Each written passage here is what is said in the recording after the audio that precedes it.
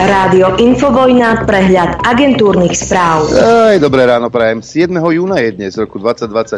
Opäť sa stretávame pri dopoludí na Infovojne a tradične začíname informačným blokom. Čo môžeme dnes očakávať? Voľby pokračujú do Európskeho parlamentu. Dnes si volia v Írsku a v Česku. Zelenský vystúpi s prejavom vo francúzskom parlamente, príjme ho Macron. Pápež príjme na osobitnej audiencii biskupov zo Slovenska. Generálny tajomník Severoatlantickej aliancie Stoltenberg navštívi Švedsko a Biden predniesie prejav na oslavách 80. výročia vylodenia v Normandii a bude to o slobode a demokracii. No a je tam aj Zuzana naša. V Normandii sa bojovalo aj za slobodu a lepšiu budúcnosť Slovenska vyhlásila prezidentka už len 8 dní Zuzana Čapútová, ktorá sa vo Francúzsku zúčastňuje na ceremonii súvisiacej s 80. výročím vylodenia spojenických vojsk.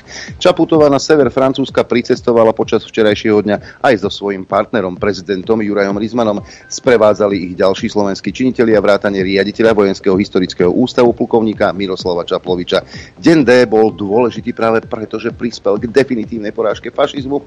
Vylodenie bolo jednou z najväčších vojenských operácií počas počas druhej svetovej vojny, uviedla Zuzana už len 8 dní Čaputová počas letu do Francúzska. Prvé poatentátové vyhlásenie Roberta Fica v 14-minútovom videu upútalo veľkú pozornosť aj vo svete. O videu informujú nielen médiá v Británii či Spojených štátoch, ale aj noviny v Španielsku či Nemecku. E, novinár z Frankfurter Allgemeine Zeitung vo svojom komentári píše, že Fico sa vracia s ostrejším slovníkom ako kedykoľvek predtým. Robert Kaliňák označil špekulácie Ľuboša Blahu o tom, že za útokom na Roberta Fica mohli byť tajné služby za slobodu slova. To, čo ja podporujem, je sloboda slova. Každý môže povedať, čo si myslí, môže vysloviť akúkoľvek teóriu a môže ju hovoriť vo verejnom priestore. Ak to začneme obmedzovať, nebudeme demokratickou krajinou, vyhlásil. Zároveň priznal, že nemá informáciu o tom, že by za útokom mohli byť nejaké tajné služby. Smer nás plíživo vyťahuje preč zo západu a Európy, uviedol predseda progresívneho Slovenska Michal Šimečka v reakcii na vyjadrenia Roberta Fica a ďalších členov Smeru.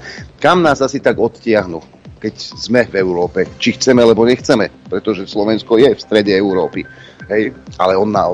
No a 100 dní sľubovali pokoja, nevydržali to ani 3 týždne. Svojimi konšpiráciami ohrozujú bezpečnosť aj civilizačné ukotvenie Slovenska. Fico obviňoval Západ, EÚ, NATO, našich zahraničných partnerov, média aj opozíciu. Poslanec Smeru Blaha zase bez okolkov tvrdí, že za to, čo sa stalo, môžu západné mocnosti, pripomenul Šimečka. Je to extrémne nebezpečná hra. Západ a EÚ predsa nie sú nejakí iní cudzí. Sme to aj my na Slovensku tieto ich vyjadrenia treba jednoznačne odmietnúť, dodal Šimečka. Pamätám si, keď Beblavy vyhlásil, že EÚ je naša vlast. Toto bolo niečo podobné. Ministerstvo zdravotníctva a financií rokujú o návrhoch opatrení na minimalizovanie zadlžovania štátnych nemocníc. Uviedla to šéfka rezortu zdravotníctva Zuzana Dolinková pred stredajším rokovaním vlády. Pripustila, že možným scenárom bude aj transformácia nemocníc na akciové spoločnosti, no nie v blízkom čase. Aj toto je v re, ale nie určite v nejakom blízkom časovom horizonte, aby sme mohli mohli transformovať nemocnice na akciové spoločnosti, tak musíme mať funkčný systém DRG a teda ten zatiaľ nemáme pri všetkých zdravotných výkonoch, pretože inak by nemala žiadna transformácia zmysel. Ale toto nie je nič nové že akciové spoločnosti spravíme z nemocníc a potom ich predáme súkromníkom. S týmto tu prišli už pred 5 rokmi chlapci z Osasky, vehementne to obhajovali. Pani Dolinková, hm, ste veľká kamarátka s pani Cigárikovou, čo? Generálna prokuratúra preveruje podozrenia z nezákonného lustrovania sudcov, pre ktoré bol odvolaný z čela súdnej rady Jan Mazák. Trestné oznámenie podala členka rady a Bratislavská súdkia Ajše Pružnec RN. Pracovníci RTVS, dajme si takú mediálnu e, chvíľku, pracovníci RTVS zorganizujú na budúci pondelok 10. júna štrajk a budú pochodovať Bratislavou k ministerstvu kultúry. Štrajk znamená prerušenie práce. Pôjde o prvý štrajk v histórii RTVS. Po výstražnom štrajku situáciu vyhodnotíme a sme pripravení zorganizovať aj ďalšie štrajky, hovoria členovia štrajkového výboru RTVS. No a doštrajkovalo sa v Markíze. Redaktori Markízy v tejto chvíli nevstupujú do ostrého štrajku, oznámili to vo videu. Vravia, že na zákonný štrajk nemajú dôvod, lebo vedenie televízie v stredu súhlasilo s ich požiadavkami, zostávajú v štrajkovej pohotovosti a odchod z televízie odmietajú. Vedenie Markízy reagovalo na video zamestnancov v štrajkovej pohotovosti a ocenilo, že nevstupujú do štrajku. Zároveň odkazuje všetkým, ktorí zneužili vysielací priestor na neautorizované vysielanie, že je nemysliteľné, aby boli ďalej tvárou televízie. Ide o jasný odkaz Michal, Michalovi Kovačičovi, hoci ho nemenovali. A poďme do Skalice, už aj tam ste videli medveďa. Mesto Skalica upozorňuje na výskyt samca medveďa hnedého v okolí Skalických hôr. Medveďa zachytila fotopasca pred dvoma týždňami v Častkove a začiatkom tohto týždňa boli jeho stopy nájdené v oblasti Zlatníckej doliny. Magistrát o tom informuje na sociálnej sieti s odvolaním sa na informácie od poľovníkov. Pravdepodobne ide o medveďa, ktorý bol vytlačený zo svojho teritória a ktorý sa dočasne pohybuje v priľahlej oblasti. Do, do zahraničia sa pozrieme Dôležitá informácia, od 1. januára bude mať Bezpečnostná rada OSN nových nestálych členov. Stanú sa nimi Dánsko, Grécko, Pakistan, Somálsko a Panama. Rozhodlo valné zhromaždenie OSN. Novozvolení členovia v 15-člennej rade vystriedajú Mozambik, Japonsko, Ekvádor, Maltu a Švajčiarsko, ktorým sa mandát končí 31. decembra. Pripoja sa k piatim stálym členom s právom VETA, ktorými sú Spojené štáty, Čína, Rusko, Británia a Francúzsko a k vlani vybranej petici nestálych členov, teda Alžírsku, Guajane, Južnej Kóry, Sierra Leone a Slovensku. Spojené štáty americké majú svoju jasnú politiku, oznámili prvú sadu vízových obmedzení proti trom desiatkám Gruzíncov, ktoré avizovala minulý mesiac kvôli príjmaniu gruzínskeho zákona o zahraničných agentoch. Obmedzenia sa týkajú aj členov vládnej strany Gruzínsky sen. Ak gruzínsky lídry svoj postup neprehodnotia, môžu prísť ďalšie sankcie, varoval Washington. No a odpoveď je takáto. Spojené štáty americké urobili ďalšiu chybu, keď zaviedli vízové obmedzenie voči Gruzíncom, uviedla gruzínska vicepremiérka a ministerka kultúry. Je to len ďalšia chyba, ktorá na nich aj na našu škodu robia Spojené štáty vo vzťahu k svojim strategickým partnerom. Pravdepodobne to nie je prvá chyba a musím predpokladať, že budú aj ďalšie, dodala ministerka kultúry miestnym médiám. Izraelský premiér Benjamin Netanyahu vystúpi 24. júla pred americkým kongresom pozvanie od lídrov republikánov i demokratov, dostal napriek rastúcim politickým rozporom vo vnútri kapitolu ohľadom izraelského spôsobu vedenia ofenzívy v Gaze. Netanyahuovo vystúpenie pred stále viac rozdeleným kongresom bude sporné a stretne sa s množstvom protestov zo strany zákonodárcov aj pro palestínskych demonstrantov, píše AP. Manifestácia na podporu Palestíny sa v posledných týždňoch tak tie sa konali naprieč celými Spojenými štátmi americkými. Poďme do Maďarska. Maďarsko sa zúčastní júnového samitu o miery na Ukrajine. Do Švajčiarska príde minister zahraničných vecí Peter Siarto. Sám to oznámil na ekonomickom fóre v Petrohrade. Budapešť potvrdila účasť napriek vrelým vzťahom s Ruskom, ktoré nebolo pozvané. Siarto však vyjadril sklamanie nad tým, že Rusko nebude na akcii, že teda bude na akcii chýbať. Domnievame sa, že reálne výsledky by mohli byť dosiahnuté, ak by za rokovacím stolom boli všetci. Tak to teraz nie je. Ale keďže si vážime mierové úsilie Švajčiarov, zúčastníme sa na úrovni ministra zahraničných vecí, povedal. Súčasne potvrdil, že Maďarsko naďalej nemieni Ukrajine poskytnúť vojenskú pomoc. Nezúčastníme sa dodávok zbraní ani výcviku, ani financovania ukrajinskej armády, dodal. Severoatlantická aliancia nemá žiadne plány vyslať svojich vojakov na Ukrajinu, vyhlásil vo štvrtok generálny tajomník aliancie Jens Stoltenberg počas návštevy Fínska.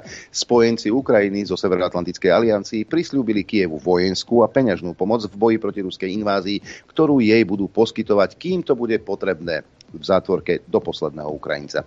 Vo všeobecnosti však odmietli možnosť vyslania svojich vojakov na Ukrajinu. Túto možnosť otvoril ešte koncom februára francúzsky prezident Emmanuel Macron na konferencii v Paríži. Polský minister zahraničných vecí Sikorský koncom mája vyhlásil, že Varšava by taktiež nemala vylúčiť možnosť nasadenia vojakov. Stoltenberg vo štutok zároveň uviedol, že aliancia sa usiluje o dlhodobú finančnú podporu Kieva. Západných spojencov Ukrajiny tiež vyzval na zabezpečenie toho, aby sa už neopakovali oneskorenia a nedostatky v dodávkach vojenskej pomoci Ukrajine, ktorá podľa Stoltenberga potrebuje predvídateľnosť a zodpovednosť. Fínsky prezident Alexander Štup na tlačovej konferencii povedal, že pobaltské ani severské štáty v súčasnosti neevidujú vojenskú hrozbu zo strany Ruska. Poďme na Ukrajinu. Francúzsko poskytne Ukrajine stíhačky Miráž, aby sa mohla lepšie brániť ruskej agresii, vyhlásil prezident Macron.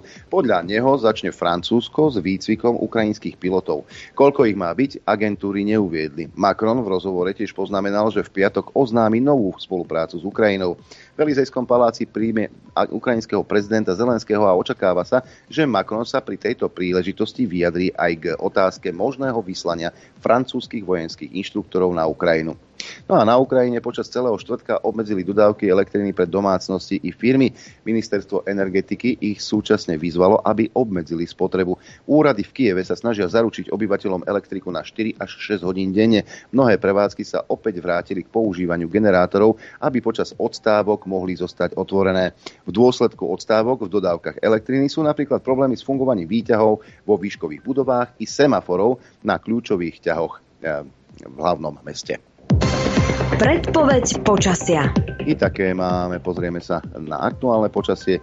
Dážď v Trebišove, Košiciach, Prešove, v Lučenci, ale aj v Telgarte, hmla na kopku.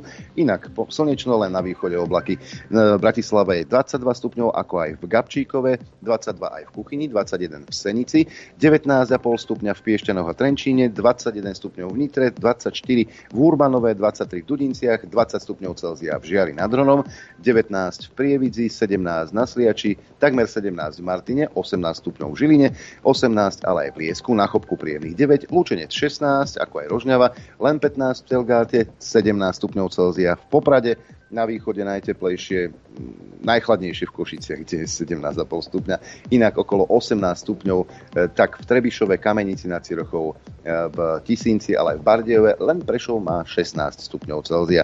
Predpoveď hovorí, že bude oblačno až zamračené, prechodne aj polooblačno. Neskôr v popoludňajších hodinách od západu zmenšovanie oblačnosti. Miestami na severe a východe na mnohých miestach prehánky, búrky aj intenzívne môžu byť. Denná teplota vystúpi na 24 až 29 stupňov Celzia, na Kisuciach, Orave a pod Tatrami miestami okolo 22. Teplota na horách vo výške 1500 metrov okolo 15 stupňov Celzia. No a bude len bez vetrie alebo len slabý vietor.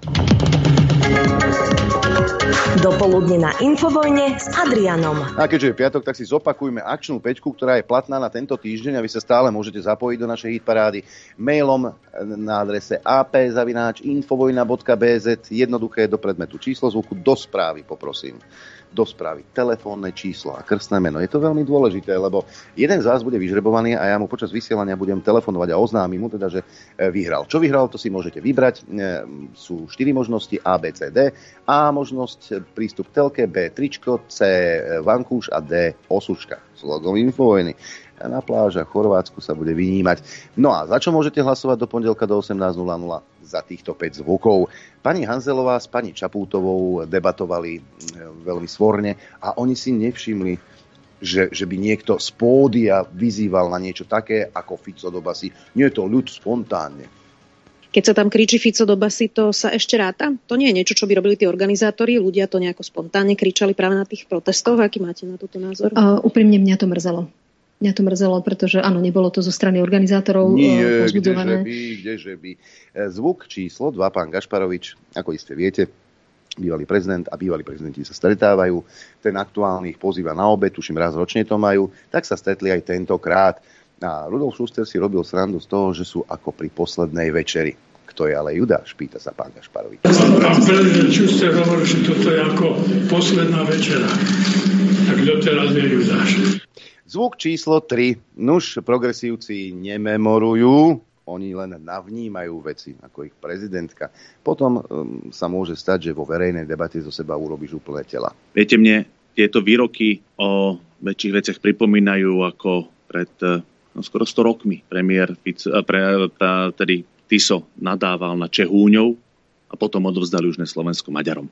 Zvuk číslo 4 taká veľká škoda je toho Jarka Naďa. To je taká veľká škoda, že on nie je v tej vysokej politike. Už si myslí, že má aj 5% dokonca. On má telefónne číslo aj na, aj na Uršulu, aj na, na všetkých. Všetci ho počúvajú. Pokiaľ máte dobré kontakty, pokiaľ viete zavolať ľuďom, ktorí, mi, ktorí dokážu riešiť. My sme v Európskej ľudovej strane, v EPP naša strana a, a Ursula von der Leyen je v Európskej ľudovej strane šéfka komisie a ona bude znova šéfkou komisie s najväčšou pravdepodobnosťou. Jedine, že Edo alebo ja s ňou vieme komunikovať priamo, máme jej mobilné číslo, vieme jej zavolať, porozprávať sa s ňou, presadiť nejaké veci. Neskutočná bublina, v ktorej žijete vy dvaja. No a zvuk číslo 5, to som musel. Veronika je len jedna, áno, Strihoňová už ju dobieha, ale toto je jeden z legendárnych výrokov Veroniky Remišovej. Pani Remišová, vy? Ja mám tri dávky, trikrát som mala COVID, ten posledný krát to bol hrozný COVID. As, asi by som šla aj na štvrtú. Zvuk číslo 1, to má Čaputová s Hanzelovou, Gašparovič dvojku, Hojsik trojku, Nač štvorku, Remišová číslo 5, mailová adresa apzavináčinfovojna.bz. Dobré ráno do štúdia 54 v tejto chvíli. Dobré ráno tebe, poslucháčom aj, aj divákom. A púšťal som včera mladého Kaliňáka, preščerom prehovoril uh, Robert Fico a tie videá mali uh, taký, takého spoločného menovateľa. Pustím vám teraz tretie video hej, a, a počúvajte teraz starého Kaliňáka a starého, mladšieho do mňa, ale staršieho. Ideš. Dobrý deň, priatelia. Včera urobil Robert Fico prvý krok. Po troch týždňoch štyroch výstreloch, niekoľkých operáciách a nesmierneho utrpenia nabral silu a odpustil. Zároveň pomenoval tým najjednoduchším a najpriamejším spôsobom príčiny, ktoré viedli páchateľa k tomuto ohavnému činu. Neschopnosť rešpektovať iný názor a bezohľadné presadzovanie politiky jediného správneho názoru nielen u nás doma, ale aj v zahraničí. Viac ako 90% Slovákov od nás politikov očakáva zmier. A vedzte, že som prvý, čo si teraz hryzie do jazyka po tom, čo som si prečítal včerajšie reakcie opozície a médií. A preto to poviem najslušnejšie, ako viem. Vážené dámy a páni z opozícia médií, pozrite si vyjadrenie Roberta Fica ešte raz. Lebo zrejme ste ničomu neporozumeli. Robiť z vlastného politického aktivistu, ktorý bol poslom nenávistných slov z článkov a námestí, osamelého poblúdenca, je tým najcynickejším popretím, že Zem je gulatá.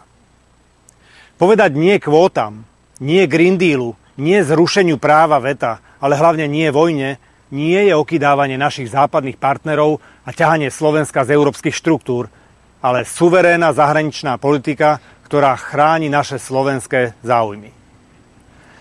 Tri týždne voláme po spoločenskom zmieri, ktorý som sám začal pohľadom na vlastné chyby. Dokonca aj Robert Fico vo svojom prvom vystúpení po atentáte skonštatoval, že nie je žiadny politický aniel a ponúkol robiť veci inak a lepšie. A reakcia opozícia médií? Vraj sú sklamaní. Prosím vás, a čo ste presne čakali? Že sa Robert Fico ospravedlní za vás za vášho politického sympatizanta, ktorý si zobral vaše slova ako motív a šiel odstrániť vašu hlavnú politickú prekážku 4 9 mm argumentami? Tak pardon. Ale všetko má svoje hranice. Vážení kolegovia z opozícia médií, zmier nie je jednostranný úkon, ale každý musí prispieť do spoločnej budúcnosti. No, uh toto je už tretie takéto video. Pukance už som nakúpil včera. Takže budeme sa, budeme sa dívať. A ja neviem, ako či... Ja to... To je jedno, že tým natiahneš ruku, podáš ruku, naplujú ti do nej. Aj? Niečo, čo majú slnečkári spoločné s určitými národovcami. Aj? Takže ako... Toto je takýto typ ľudí. Hej? Buď bude po ich, buď sa budeš plaziť po kolenách pred nimi, skloníš hlavu, alebo ťa zničia. Tak alebo tak. A Fico sa mohol spraviť, lebo tak vystrelil 5 a iba 4 krát sa nechal trafiť. Tak by sa malo ospravedlniť slniečkárom, že sorry, nebolo to, nebolo to. Ako toto je tak choré, že, eh, a keď už som spomínal týchto, nebudem teraz, kedy to bolo prečerom, alebo kedy som vravel o tej o tom videu Kotlebu a Kotleba bol pondelok alebo kedy, to je jedno. Proste on sa pustil do týchto, uh, jak sa volajú, republika. A potom dal druhé a dal tretie. A ja to nebudem púšťať, hej, v žiadnom prípade, nie preto, že moratórium, ale ako to nestojí nám za to ani jeden z nich, aby sme to zabíjali s nimi čas. Ale ak chcete, môžete sa pozrieť samozrejme u Kotlebu na tie tri videá na mm, na YouTube. A potom včera aj Uhrík a, reagoval na to. Aj, na tie kotle... Čo? Seperov? A, to ja neviem. To je jedno. Aj, a, to ani súhnite, ani z, z rovnakého cesta, to je vedlejšie. E, ale tak a keď ste nejaký ich, uh, títo uh, ani nie, ak, ak ste ultras, tak ani tak, aj tak to je jedno, čo tam moc nie, tak ako tebe to bude jedno. A budeš si voliť, ako ty chceš. A to je správne, ako s tým ja nemám absolútne problém. Ale uh, v tom Mohrikovom videu uh, možno, možno pochopíte, hej, tí, čo ste mi nadávali pred 5 rokmi. Hej. Prešlo 5 rokov, sú nové informácie z ich tábora, nie od nejakých konšpirátorov, alebo ja neviem od koho, alebo od, od ich nejakých rivalov, ani od nás nie. A ja možno, možno pochopíte, hej, po 5 rokoch. Vtedy som dostal toľko nadávok, pred 5 rokmi som dostal takú nakladačku od týchto svetkov Kotlebových, že, lebo pamätáte, pred 5 rokmi aj Uhrik bol Kotlebovec, aj Mazurek bol Kotlebovec, všetci boli Kotlebovci. Hej. A tých... Dve... Verný vodcovi. Čo? Verný vodcovi. Hej, hej, hej, hej, no, ja som nebol. No a tak oni, tak uh, uh, tam samozrejme tým vznik, lebo ani ono keď nebol ani taký problém, že ja som odstúpil z tej, z tej, tej hej, ale ja som si dovolil povedať, a tí, čo si to pamätáte, alebo si to nájdete v archíve, ja som si dovolil povedať, teraz budem parafrázovať samého seba, lebo si to presne pamätám, a povedal som, že je mi úplne jedno, kto to je, čo to je, ale akúkoľvek protislovenskú činnosť ja nebudem tolerovať. Hej. A teraz nie, že by som bol taký národovec a že ja neviem, že by som položil život za svoj národ, no nie, no v takej skladbe, aký je náš národ, ani, ani nechet by som si odstril, ako nie, nevajte sa na mňa, to je hrozné, hej, čo predstavujeme ako, ako národ. Ale proste z princípu Hej, mne to je jedno, proste akákoľvek protislovenská činnosť je u mňa začiarov a skončil si. Hej. No a tam bol problém, lebo však tí, o ktorých som ozna- teda nariekol som ich, áno, za protislovenskej činnosti, tak tí sa vydávali za národovcov do dnešného dňa. Hej. Takže tam bol, tam bol problém, lebo som nejakým spôsobom asi a, tú značku a, pošramotil. Hej, ale tak pozrite si to, hej, oni už teraz o jeden o druhom porozprávali nejaké veci a čo ja som, toto veci, toto som ja nevedel, hej, ja som len, čo som videl, čo som zažil, hej, a tieto informácie, čo oni vynášajú z kuchyne, u mne jedno si to preberte, ako chcete. Ale uh, takto pred voľbami si uh, si posielajú odkazy. Hej. Nebudeme to púšťať v žiadnom prípade. Ideme si zahrať Adenko? Poďme. Hodin jak na kostole. Chcete vedieť pravdu? My tiež. My tiež. Počúvajte Rádio Infovojna. Ráno, priatelia. Dobré ráno, prajem aj ja. Maťo mi poslal ráno video a keďže človek nie je len serióznou politikou živý, tak mi poslal takéto videjko. Ja vám ho pustím, lebo nech je sranda. Uh, jak by som to nazval, to video? Uh, Pročko versus Fico. On, ma, ta, on mi takú šlehu dal, ja, mne, viete, dostali ste niekedy vankuša alebo to do hlavy, keď ste mali iskričky. Nemali ste ešte nikdy také iskričky?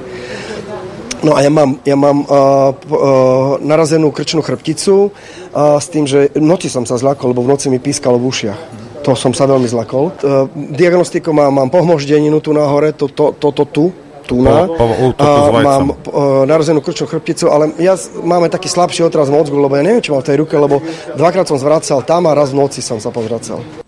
Ak všetko pôjde optimálne, postupne by som sa do práce mohol vrátiť na prelome júna a júla.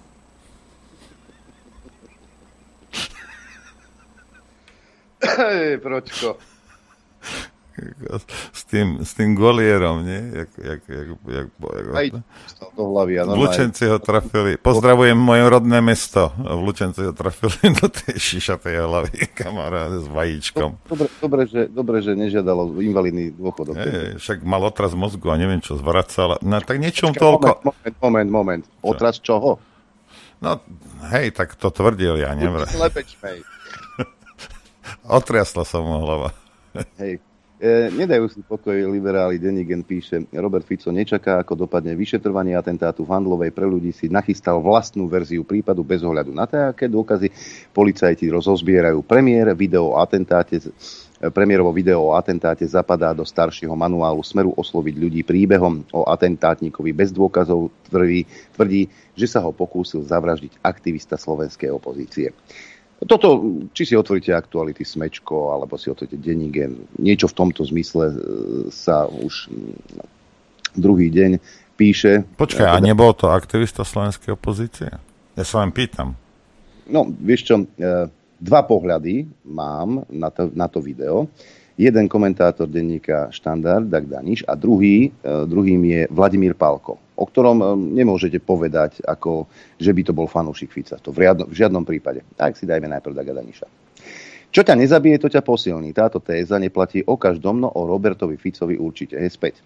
Ficovo nové video nazval Odpúšťam a varujem. Odpustil útočníkovi, no zároveň dvihol prst. Strelec podľa neho nebol osamelým pometencom, ale aktivistom opozície, poslom zla a nenávisti, ktorú rozpútali politicky neúspešné opozičné strany a protivládne médiá. A toto už Fico tolerovať nemieni. Média a mimovládne organizácie vyzval, aby prestali zakrývať pravdu, teda prepojenie útočníka s opozíciou a zľahčovať jej následky.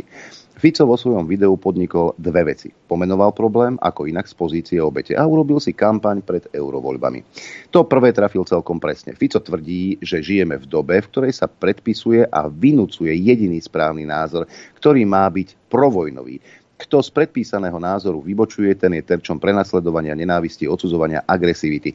Pri útokoch na skupiny s iným názorom celkom zlyhali poistky. EÚ, tretí sektor, média, hlava štátu, všetci roky ignorovali sťažnosti na porušovanie práva z geopolitických dôvodov. Výsledkom je stupňovanie nenávisti v spoločnosti, ktoré začína byť nezvládnutelné a nebezpečné.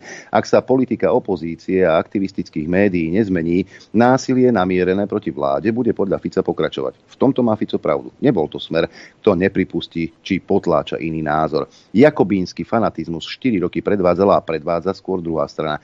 Kritické hlasy chce umlčať a vytlačiť mimo spoločnosti ako zradcov, bezpečnostné hrozby, zlo.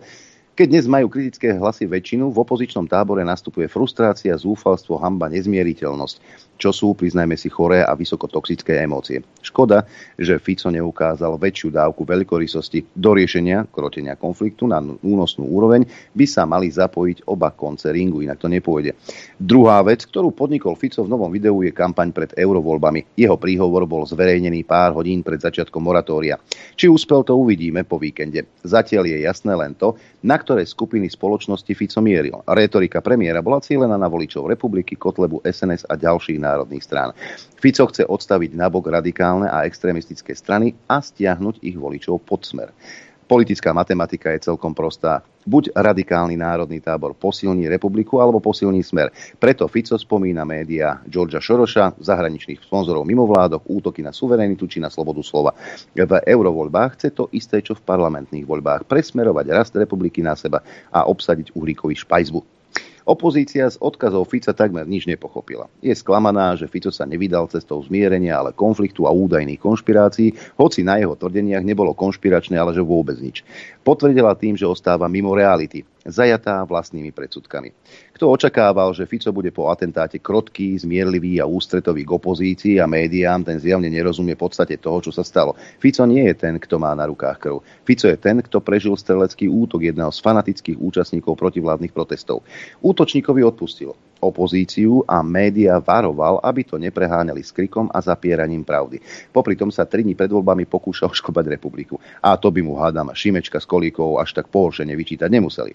Opozícii zrejme na Ficovi prekáža najviac to, že je po atentáte provokačný. To sedí. No nie je to len chyba Fica, je to chyba programu. Žijeme vo výdatne pripečenej ére, keď na provokácie nepotrebujete nič prepálené a úražlivé. Dnes na drzú provokáciu stačí celkom banálne, suché pomenovanie reality. No a e, Pálko sa tiež pozrel, Vladimír Pálko, na ten, na ten prejav a niektoré veci e, celkom trefne Ficovi vytkol. Bol to úderný prejav, mal silné politické zrozumiteľné posolstvá, ktoré dopadli na vedomie ľudí ako údery krompáča. Všetky sa týkali tém, o ktorých sa vedie politický zápas na Slovensku i v krajinách Európskej únie a Severoatlantickej aliancie. Robert Fico prvýkrát od atentátu, v ktorom utrpel ťažké zranenia, prehovoril k občanom. Nedávno som napísal, že vzhľadom na premiérov zdravotný stav ešte nie sme schopní hovoriť o politickej situácii, ktorá viedla k atentátu úplne slobodne. Ale zdá sa, že budeme čoraz slobodnejší, lebo premiér sa uzdravuje rýchlo. A tomu sme radi. Ako je na tom fyzicky, neviem. Hlas mal miestami akoby trochu slabší. Politicky je však už teraz v plnej forme. Bol to úderný prejav, mal silné politické zrozumiteľné posolstvá, ktoré dopadli na vedomí ľudí ako údery krompáča. Okrem iného to bol aj dobrý predvolebný prejav. Slová voľby alebo Európsky parlament samozrejme nepadli, ale pojem Európska únia áno. Ale nemyslíme tým nič v zlom. Všetko, čo povedal, súviselo s atentátom, teda nebudem vyčítať politikovi, že v každej chvíli sa snaží maximalizovať svoj politický vplyv. Skrátka, bol to návrat politického živočícha. Keďže zdá sa, Robert Fico zostal silným človekom, tak budem k nemu pristupovať ako k takému a nebudem len tak okolo neho opatrne našľapovať. Vyjadrím sa k jednotlivým položkám, o ktorých v prejave hovoril, kde hovoril pravdu a kde nie. Na začiatku príhovoru Fico odpustil atentátnikovi. Bolo to pekné gesto a pôsobilo to prirodzene. Za to slovenskej opozícii neodpustil nič. Označenie atentátnika za aktivistu opozície vzbudzuje dojem o čosi tesnejšej väzby medzi ním a politickou opozíciou, než zodpovedá skutočnosti. Retorika opozície smerom k Ficovi skutočne prispela k atmosfére nenávisti, ktorá zrodila atentát. Ficom použitá formulácia však môže vzbudzovať dojem, že atentátnik bol členom politickej opozície ako organizovanej štruktúry. Tam to nesedí. Tu dávam palec mierne dole. Poďme k najsilnejšej stránke Ficovho prejavu, ktorou bol jeho komentár k politickej situácii v Európe v súvislosti s vojnou na Ukrajine. Fico povedal, že v Európskej únii sa už nerešpektuje právo na vlastný názor, pretože o vojne sa môže vyslovať len jeden jediný správny názor, ktorý agresívne presadzujú niektoré západné demokracie. Tento pojem jediný správny názor Fico spomenul štyrikrát. Tým jediným správnym názorom v Európe podľa Fica má byť to, že vojna má pokračovať za každú cenu, aby Rusko bolo oslabené. V kontraste s tým Fico o sebe tvrdí, že on vždy preferoval mier pred vojnou. Uviedol, že každý, kto nesúhlasí s týmto názorom, je v EU automaticky označený za ruského agenta. Túto situáciu v Európe opísal Fico pomerne presne. Ako premiér preukázal odvahu čeliť jedinému správnemu názoru. Môže s ním súhlasiť i konzervatívec. Ficovi za to patrí uznanie. Rozhodne palec hore. Fico sa krátko dotkol i pokusu o rozbitie spolupráce stredoeurópskych krajín v rámci, v rámci V4. Pokus bol podľa Fica našťastie neúspešný. Zoskupenie V4 považujem v súčasnosti za tak dôležité ako nikdy predtým. Keď je zrejme, že jej rozbitiu zabránil i Robert Fico, tak opäť dávam palec hore. No, Dobre ale nepôsobila Ficova snaha štilizovať sa do polohy politika, ktorý už dlhodobo vedie zápas voči mocným z EÚ a NATO. No, bolo to troška inak. Niektorým mocným sa podľa Fica nepáčilo, že stiahol slovenských vojakov z Iraku. No tak. S Američanmi išlo do, do Iraku v roku 2003 dokopy 37 krajín vrátane Slovenska. Z toho vojaci 15 krajín odišli z Iraku už v rokoch 2004 a 2005. Napríklad Nóri, Taliani, Holandiania a Španieli. Tá zhruba stovka našich vojakov sa vrátila v roku 2007 a takmer všetky ostatné krajiny v roku 2008. V podstate sa naši vojaci vrátili vtedy, keď už odchádzali všetci.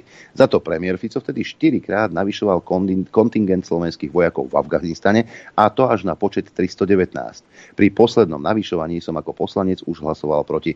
Na konci prvej Ficovej vlády sme teda mali v krajinách, kde Američania bojovali oveľa viac vojakov ako na jej začiatku. V téme našich vojakov v zahraničí Fico naozaj disidentom nebol.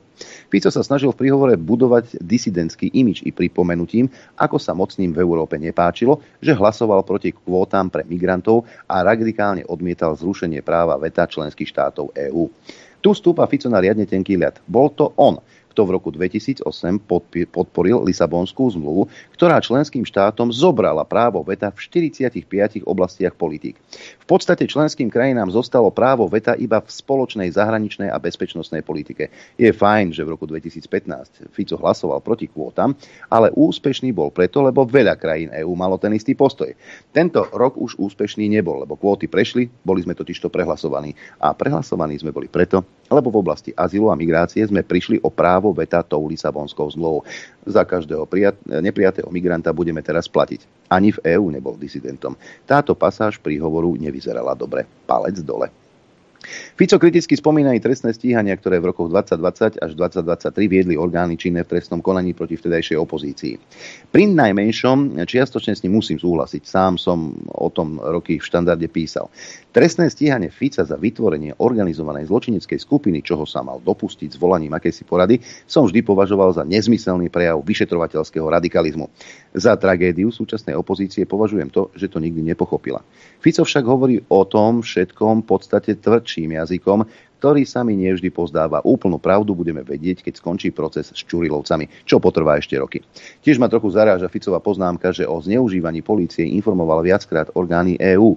Vždy, keď sa v Bruseli na domáce pomery stiažujú progresívci, politici Smeru hovoria o vlasti zrade. Keď sa stiažujú politici Smeru, je to prejav zodpovednej, zodpovednej ustarenosti. No, v niečom palec hore, v niečom nadol.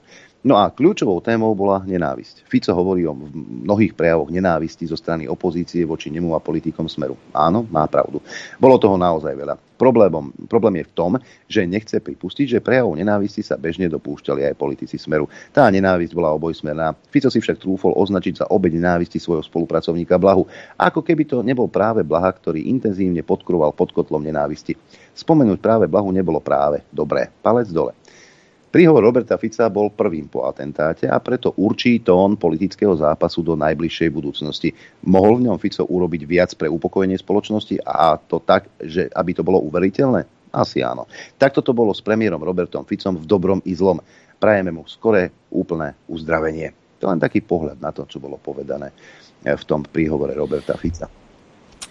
Mne, vieš, mňa zaráža aj, aj taký modrland, jak Palko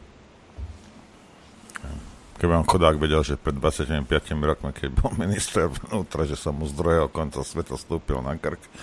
Ej, ale to je vedlejšie. A toto je fajn, hej, čo hovorí. Toto by bolo všetko pekné. A ja by som s tým aj súhlasil. Hej.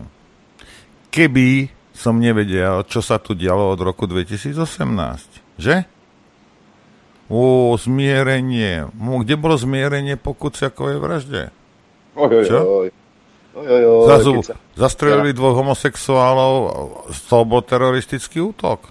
Hej, aké zmiery, ako, o, o čom rozprávate? Hej. A všetci bieli heterosexuálni muži boli na vine. Len tak mimo. Našťastie som 20-ročná fotomodelka, mňa nemôže obviňovať. Hej, kreténi. A teraz, rozumiete, ale toto je... Vy musíte pochopiť, ja viem, že berete veci tak proste ako, že proste zaškatulkovanie. A áno, áno, má pravdu, lebo smeráci rozprávali tiež, ja neviem čo. Hej. Ale vy sa musíte na to pozrieť globálne, aby ste chápali súvislosti.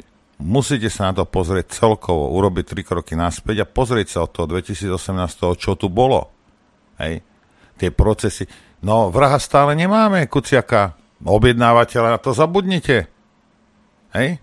A to už vyšumelo? Alebo čo? Ako... Mali policajti rozviazané ruky, som počul. Hej. Mal som 3,5 roka. Rozumieš? Hej. A plno ďalších vecí, mi sa to nechce do kolečka opakovať. A ľudia, pokiaľ sú hlúpi a nepamätajú si veci, no tak fajn, OK. No tak ťa budú odrbávať politici, čo majú IQ pod 100. Lebo ty máš ešte nižšie. Taký je problém. Rozumieš? Tak ťa oklame, no jak podri sa, podri sa, Fiala odrbal Čechov. Hej, no, není problém hlupého človeka nie je problém odrbať, lebo oklamať ho môžeš, každého môžeš oklamať aj mňa. Hej, raz. Ale normálny človek si už potom dá pozor a nebude počúvať tvoje žvásty, lebo vie, že klameš. Pozri sa na Čaputovu, na Koliko, na všetkých týchto klamárov, na oného Čirke Fogova, hej, na toho debilka z Komárna, za chvíľku vám pustím niečo. Hej. Takže No ale tak keď, keď oni však ho vtedy klamal, a v času nebude klamať, lebo ja neviem, Svetý Duch do neho vstúpil, lebo on teraz bude pravdovravný, to vtedy, áno, klamal. V kuse klamu, hej, a vy im v kuse veríte. Jak keby ste boli na hlavu padnutí. No tak sa ničudujte. Pozri sa okolo seba, pozri sa na účty, pozri sa do peňaženky, na účet svoj, hej, na inkasa a na všetko, a na zdravotnú starostlivosť, čo, čo ti robia s deťmi v škole No tak, OK. Keď hlúpi, lebo väčšina z nich sú hlupáci, tí politici, keď hlúpi politik ťa dokáže takýmto spôsobom oklamať, opakovane, 30 rokov, no tak potom, čo si stiažuješ? Čo? Myslíš si, že teraz budeš voliť toho alebo toho a ťa vytrhne? Prečo by ťa niekto trhal? Aj ten tvoj národný politik, aj ten super, aj ten neviem ktorý, hej? Aj tak ťa má za bobca. Rozumieš? Slovami Haščáka, voliť je hovno. No. Ako proste, takto sa na nás pozerajú. No a majú dôvod sa na nás takto pozerať? Samozrejme, že majú dôvod na nás sa takto pozerať, keď sa správame proste koľko razy subhumánne, koľko razy proste zbytočne emotívne, nevieme si riadiť štát. Tuto, keď sme preščerom, ten poslucháč, čo volal, on, lebo niektorí vol, volia z billboardov a niektorí, o, idem rozmýšľať a prekombinuje všetko. Hej?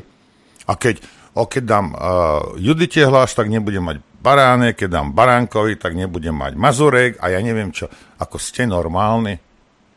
Podrite sa. Vy hej, musíte ísť k tým, ak chcete mať, ak chcete mať veci v poriadku, hej, a jakž takž, musíte k tým voľbám ísť chladnokrvne a pozerať sa. Ty nezachrániš tým svojim jedným hlasíkom planétu, ani Európu, ani Slovensko. Doriti, už si to uvedom. Ty musíš ísť voliť takého človeka, hej, o ktorom vieš, nie že si myslíš, alebo že ti povedal niekde na videjku, ale o ktorom vieš, hej, že ťa bude tam zastupovať, že bude s tebou spolupracovať, že ja neviem čo. A bude robiť veci, ktoré vyhovujú tebe a tvojej rodine. Na ostatných sa vykaš, ty Slovensko nezachrániš. Proste musíš byť sebecký. Prečo, prečo, a sebeckosť nie je teda najkrajšia však vlastnosť, ale prečo hovorím, že v tomto prípade to OK byť sebecký? Lebo drvivá väčšina ľudí sú dobrí ľudia. Hej? A nebude chcieť zo sebeckého dôvodu robiť nejaké somariny. Hej? Áno, niektorí budú, ja neviem, možno 10-20%, ale drvivá väčšina ľudí sú dobrí ľudia, budú chcieť dobré veci pre seba, pre svoju rodinu, ktoré sú takisto dobré aj pre ostatných. Hej? Ale neviem, ako vám to mám vysvetliť. Buď sebecký, Pozeraj sa na seba, na svoju rodinu, svojich rodičov, svoje deti. Hej. A ver mi, že tá, tá väčšina ľudí, ktorí sú v podstate dobrí, to vedia urobiť perfektne. Ako náhle začneš kombinovať, alebo sa dívať na billboard a pozri sa, oni, ten má taký obrázok, ten má taký, ten má taký veľký billboard a to je super. Hej, a, a ten ti zachráni to a ten ide bojovať proti tomu a no... tak sa pozrite. No Hej, ale, hej, ale už si lenivý ísť naspäť sa pozrieť, kto ako hlasoval, koho si volil pred 5 rokmi, že? Takže problém nie je v politikoch. Takých máme, akých máme. To je to, čo vyprodukoval slovenský národ. Problém je v ľuďoch. Hej. Pristupujú nezodpovedne k riadeniu vlastného štátu. To je problém. A netreba, ale rozumiete, nikto napraviť to alebo začať sa chovať zodpovedne, ty nemusíš nič extra robiť. Nič. Rozumieš?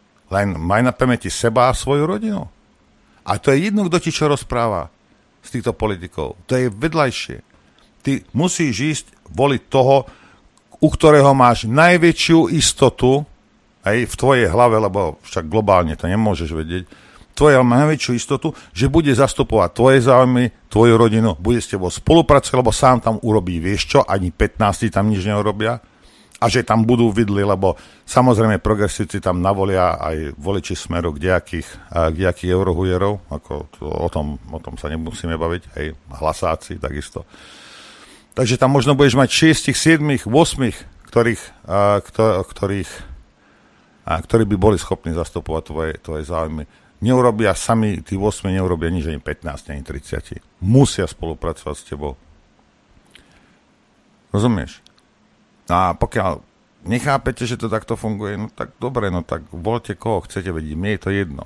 Hej. Ako mne to je v celku jedno, či tam je Joško, alebo Marienka, alebo Ferko. Nech sú tam. Hej. Ale ak ti záleží, hej, tak, tak rozmýšľaj. Neviem, neviem ako, ako inak to vysvetliť. Hej. Chodte k voľbám a krúžkujte. Hej. Toto sú moje dve. A tretia rada je teda, voľte, teda, voľte uh, naozaj sebecky pre seba a pre svoju rodinu. A v každej, v každých voľbách to treba takto robiť. No to, lebo tí latečkoví v Bratislavských... Ty pôjdu. Ale čo v Bratislavskej, v Košiciach, Prešove? Všade. V veľkých mestách, všade. Ty pôjdu. Neboj sa. Tí sú presvedčení bolševici. Hej. Tam, tam není problém. Rozumieš? S nimi. Hej ale my budeme volať, a našťastie teda ako na, na našej strane, tí ľudia nie sú až takí, takí švihnuté, ale proste, rozumieš, volať po zmierení, hej, keď dvakrát proste tu boli také útoky nenormálne predtým a konštantné a v kuse zo štátnej správy, od médií, neviem čo, teraz chcete zmierenie a keď títo ťulpasy im natrčia ruku, tak im do, do niže naploje a nagrciali im do rúk. A dokedy to chceš naťahovať tú svoju, povedz mi, vieš, tú ruku. Čomu, k čomu je to dobré? Proste raz na to aj tak prídete, čo ja vám hovorím roky. S týmito ľuďmi sa nedá dohodnúť. Nedá. A nie, že by nebola snaha.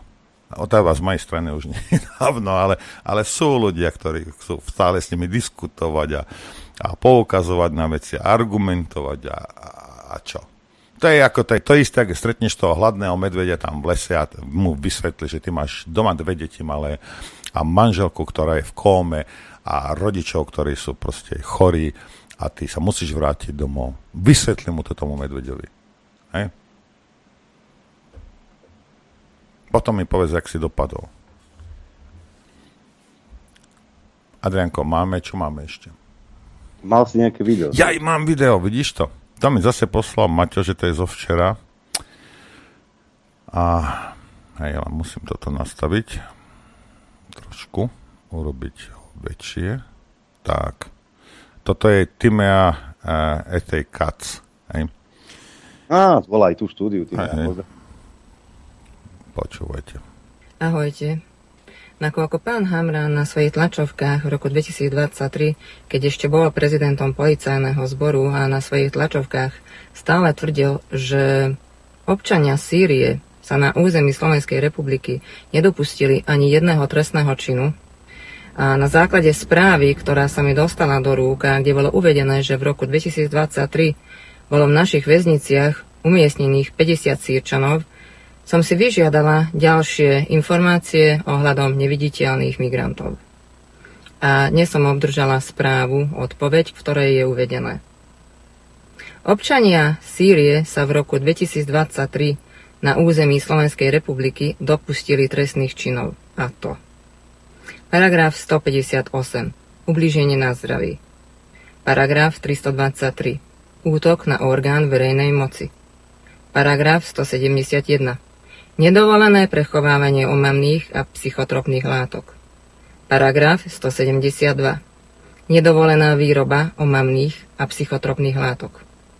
Paragraf 212. Krádež. Paragraf 245. Poškodzovanie cudzej veci. Paragraf 284. Všeobecné ohrozenie. Paragraf 352. Fášovanie a pozmeňovanie verejnej listiny a paragraf 355 prevádzačstvo dňu na území Slovenskej republiky za posledné dva roky nespáchali jeden jediný trestný čin, ktorý by slovenská policia evidovala. Zdôrazňujem, ani jeden trestný čin. Takže si môžete utvoriť svoj názor na pravdovravnosť a úprimnosť voči obyvateľom pána Hamrana. Prajem vám pekný deň. Ahojte. Ďakujem, Pán Hamran, tá tiež neviem, asi možno od Sirčanov kúpila drogy. Pozrite sa, videli ste, on, on toto je to, toto som hovoril o covide, to hovorím proste o čomkoľvek. Tak klamú, hej, pozdravujem pani Čaputovu, tak klamú, rozumieš, proste, a ty si povieš, že ale koko však on nemôže klamať, to, to by neklamal. Veď to, na to sa dá prísť, to by neklamal do, na kamery, z pozície prezidenta policajného. Však to by... No nie, ty by si si to nedovolil, lebo v podstate si slušný človek. Hej? A akému to sociopatovi je to jedno. Chápeš? Tak sa zabudne. Dobre, my sme pustili videjko, teraz vás pastor 100 tisíc o tom vie. A čo za týždeň? Aj tak nebudeš vedieť. Hej? A tí, čo idú teraz voliť ako... A však, že klamal, no dobre to klamal vtedy, lebo to bolo, ja neviem, ale teraz, keď už není majorom, teraz už, teraz už bude fasa chalám v Bruseli, rozumieš? To pôjde tam do KFC predávať kuratá z Komárna. Ale keď sme už pri tej migrácii, a tam tiež sme mali mýty o tom, napríklad taký Ódor tvrdil, že uzavretie hraníc nič nerieši. Môj archív si pamätá. Mýty a fakty o migrácii. Mýtus, uzatvorenie hraníc je riešením migračnej Žiadna krízy. krajina nedokáže uzavrieť takúto dlhú hranicu. Nedokáže to ani Maďarsko, ktoré má oveľa tlačiu hranicu a predsa k nám prúdia migranti práve z tejto krajiny v hojnom počte. Navyše, aj keby sme výrazne zintenzívnili uh, uzatváranie uh, hraničných priechodov, tak jednak by to stálo štátny rozpočet uh, milióny eur a na druhej strane by to spôsobovalo ťažkosti všetkým občanom Slovenska, ktorí by museli dlhšie stať na hraniciach a takéto riešenie nikto nechce. No dobre, tak ja sa chcem spýtať. Ja sa chcem spýtať jednu vec. Tak keď uh, treba šetriť, hej, tak pozrite sa, veď, aha, na čo platíme, na čo, na čo dávame peniaze policajtom, nejakým vyšetrovateľom, nejakým prokurátorom? Prečo platíme prokurátorov, policajtov? Však Kociaková vražda aj tak nebola vyriešená. Však uh, plno vecí nie je vyriešenie. Keď potrebuješ policajta, není. Keď ho nepotrebuješ, ale nemáš rúško, tak ti poskáče. Na čo platíme týchto ľudí, sa pýtam. Viete, koľko miliónov nás to stojí? Na čo platíme toľkých politikov? Na čo platíme toľkých ľudí na ministerstvách? Rozumiete? No tak poďme šetriť. Tak šetríme. Lebo toto je riešenie. Keď máš ohrozenie, že fyzické ohrozenie, tak ideme šetriť. A kde budeme teda rozdávať, ako uh, utrácať peniaze, keď bude treba kúpiť rúška? Alebo nejaké, nejaké patoky, čo napichali ľuďom a teraz sú chorí z toho? A bezvládni? A mnohí mŕtvi? Naozaj? Na to, na to peniaze sú. Ale na ochranu Sloven- občanov Slovenskej republiky, oh, však milióny by to stálo. Ti povedal inteligentný odor, hej? ktorý má veľmi blízko stupňom svojej charizmy k Hegerovi. Hej? Jeden je vypratá ponožka, a druhý má charizmu nevypratej ponožky smradlovej. Títo ľudia ti budú vysvetľovať. Hej? A na, koľko sa im pustili? 50 tisíc a, a papieriky im dávali. A ja, a ja som platil policajtov, že im tam dávali papieriky ilegálnym migrantom? Lebo sa bavíme o ilegálnej migrácii. A tak Hamran ich pustil. Aj s Odorom. Však Odor bol vtedy nie minister vnútra. Aj. No však vyhodili, však vyhodili toho nešťastníka, vieš. Lebo, no, dobre, ale tak to je jedno. Čo máš pre nás, Adrianko? Ja nič, ale náš kamarát Ďuro Poláček sa pozrel na niečo, čo v našich médiách sa o tom moc nehovorí. V Petrohrade sa opäť koná fórum a zazneli tam zaujímavé veci, ktoré okomentuje Ďuraj Poláček. Pre vás. Zdravím vás, Polok. Chcel by som sa vyjadriť k tomu, čo vlastne povedal Vladimír Putin na Petrohradskom ekonomickom fóre. Včera bola beseda s zahraničnými novinármi.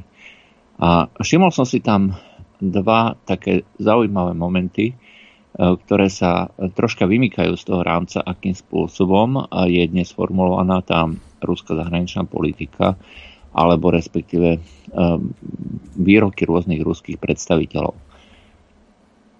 Prvá je, že Vladimír Putin sa na otázku britskej novinárky, že teda kedy, za akých podmienok Rusi použijú jadrové zbranie, Vladimír Putin povedal, že toto je proste otázka, kde priamo ako vkladajú ruskému prezidentovi do úz nejaké odpovede pretože očakávajú, že sa to stane vtedy a vtedy.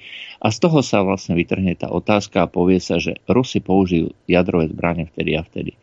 A to znamená, napriek tomu, že za uplynulé dva roky bolo množstvo výrokov o tom, že Rusi použijú jadrové zbranie, keď ich niekto napadne a tak ďalej, Putin sa vyhol odpovedi a povedal, že toto je presne ten typ, uh, typ uh, otázok a konverzácie, ktoré uh, vlastne vytvára z Ruska nepriateľa. Že toto je že to je príliš vážna vec použitie jadrových zbraní na území krajín, európskych krajín alebo Ukrajiny alebo koľkoľvek iného. Že proste tu sa treba zastaviť. Že tu zdravý rozum hovorí, že toto je, toto je už ďaleko za čiarou. Že tam nesmieme zájsť. A Myslím si, že toto presne ukazuje, že Rusko nikdy nemalo a ani nemá do budúcna záujem používať jadrové zbranie v nejakej klasickej vojne. To znamená, že pokiaľ sa bude ten konflikt nejakým spôsobom eskalovať, tak jednoducho Rusi budú ochotní znášať nejaké údery, veľké škody, desiatky tisíc mŕtvych spoluobčanov, len kvôli tomu, lebo na druhej miske váh je zničenie sveta. A o tomto vlastne bola tá odpoveď Putina ale ako sme si všimli v novinách, tak Rusi sú ochotní použiť jadrové zbranie na ochranu svojich záujmov, Ej, hoci to tam nebolo povedané. Uh, ale to čítame v novinách. Proste novinári to dezinterpretujú a, a vytvárajú si fiktívnu realitu, ktorá proste nemá nič spoločné s tým, uh, čo majú skutočne Rusi v úvodovkách za ľubom, alebo a, čo si skutočne myslia. Samozrejme, že Rusi sú z celej tej vojny extrémne nešťastní. A to, čo e, na začiatku bola tá špeciálna vojenská operácia, a ona aj bola no, vojenská operácia, to nebola vojna, aj bolo to použitie e, vojny na dosiahnutie určitých diplomatických cieľov. Ale týkalo sa to len územia Ukrajiny. A územie Ukrajiny v roku 2022, keď e, začal celý ten konflikt, nikto nespochybňoval. Nikto nespochybňoval v Kremli, ani doteraz nespochybňuje uh, tú uh, suverenitu, aj keď zase ozývajú sa rôzne reči, rôzne narážky, že Rusko musí to, Rusko musí tamto. Z oboch strán. Ale v skutočnosti uh, Rusi majú záujem len na jednej jedinej veci. A je to legitimný záujem, treba povedať. Pretože Spojené štáty alebo Veľká Británia nemajú nič spoločné s tým, či bude na Ukrajine NATO alebo nie. Rusko nevadí Ukrajina ako taká. Rusko vadí e, Ukrajina ako pokračovanie e, nejakého spolku, ktorý pociťuje ako ohrozenie. A aj keď sa hovorí, že krajina si môže vyberať, koho chce, nie je to celkom tak. Ak sú vaši kamaráti ľudia, ktorí verejne deklarujú, že budú útočiť na nás, na naše záujmy, že ich cieľom je zničiť krajinu, no tak zákonite sa budete obávať eh, nejakých tých dôsledkov, keď sa váš sused eh, k tomuto spoločenstvu pripojí. A Rusi tú ochotu vyjadrili eh, tým, že začali tú špeciálnu vojenskú operáciu a začali vlastne ten útok, ozbrojený útok, ktorý bol formálne porušení medzinárodného práva. Ale to treba povedať, že e, celá tá politika, ruská politika bola reaktívna. Nebola, e, nebola vlastne vytvorená e, sama zo seba. Nevzniká len preto, lebo sa v Kremli niekto pozrel von oknom a jeden deň si povedal, a teraz by to išlo. Nebolo to tak, bol to dlhodobý proces, ktorý začínal ešte v roku 2014 Eh, tým eh, neústavným pučom organizovaným Spojenými štátmi.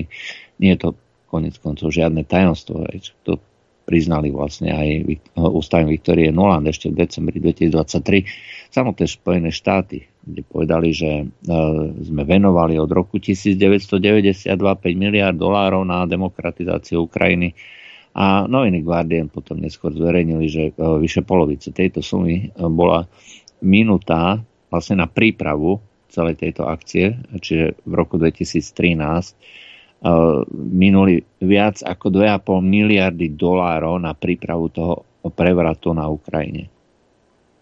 Je to obrovská suma, keď si to tak zoberiete. A tieto všetky veci uh, Rusi, vedeli, Rusi vedeli, že sa tu pripravuje uh, a organizuje útok, najprv e, diplomaticky, aj s, s tým, že sa tu na, urobí prevrat, aj potom z Ukrajiny sa stane nástupište pre vojska NATO.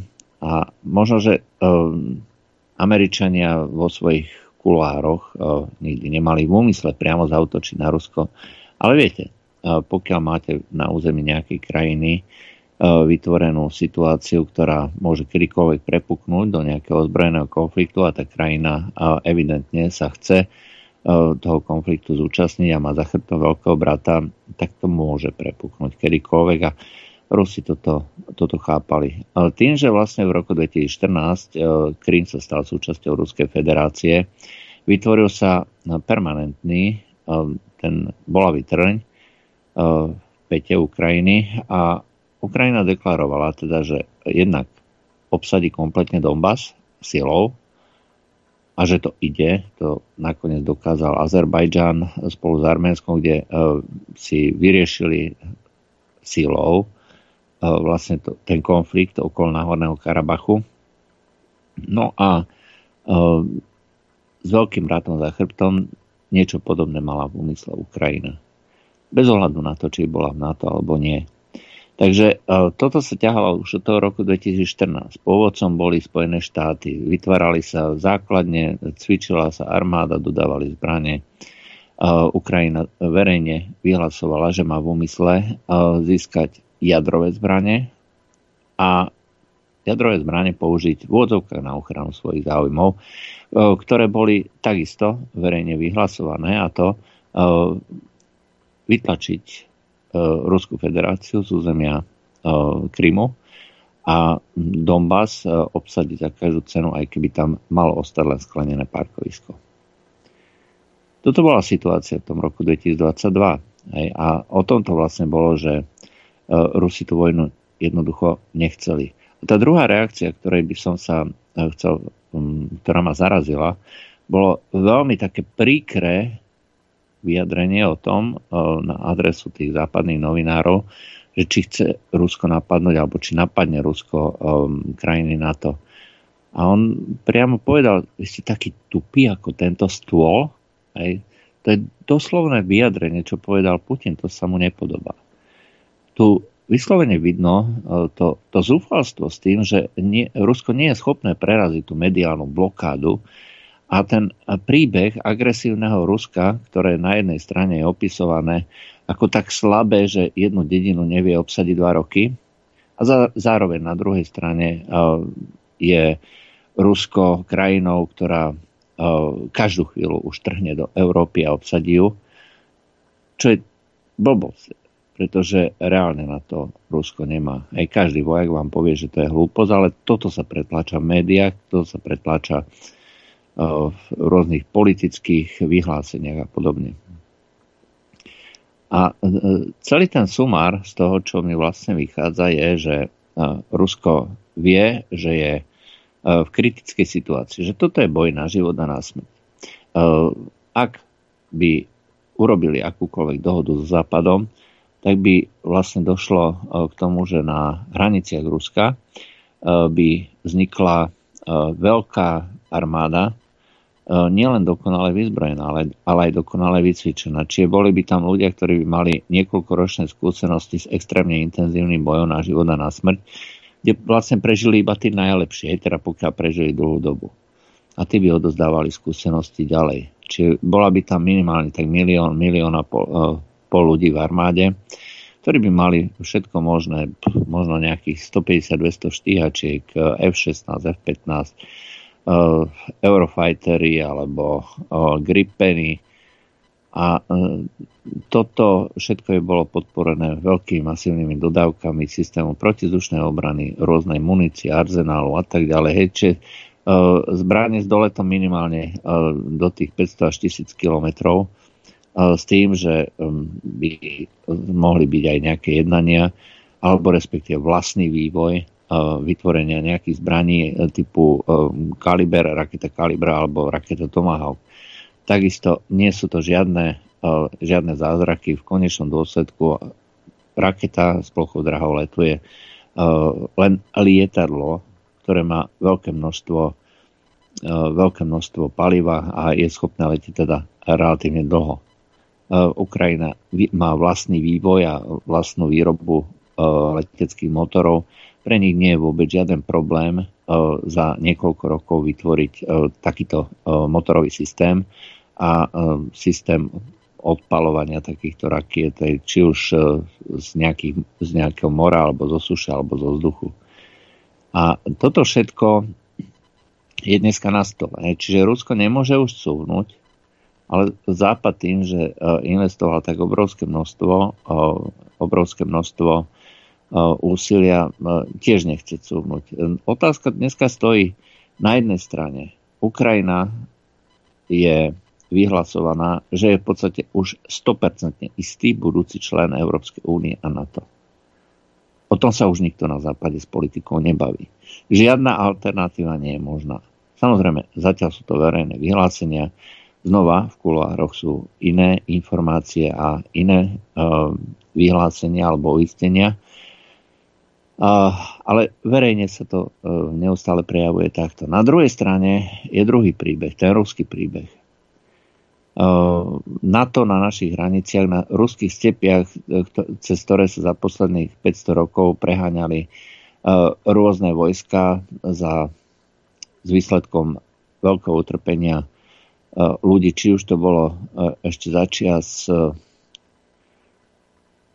veľkomoskovského kniežastva, alebo začias ruského impéria, alebo začias ZSSR, a dneska začias Ruskej federácie Proste stále je to ten istý príbeh. Hej. Tu je uh, veľká východoeurópska rovina, ktorá je vhodná na to, aby sa zautočilo na územie uh, Ruska a tým pádom nikdy na tomto území nesmie byť nejaká, nejaké konsolidované konsolidovaný štátny celok alebo nejaká sústava organizácie alebo čokoľvek iné, ktoré by bolo možné využiť na útok proti Rusku.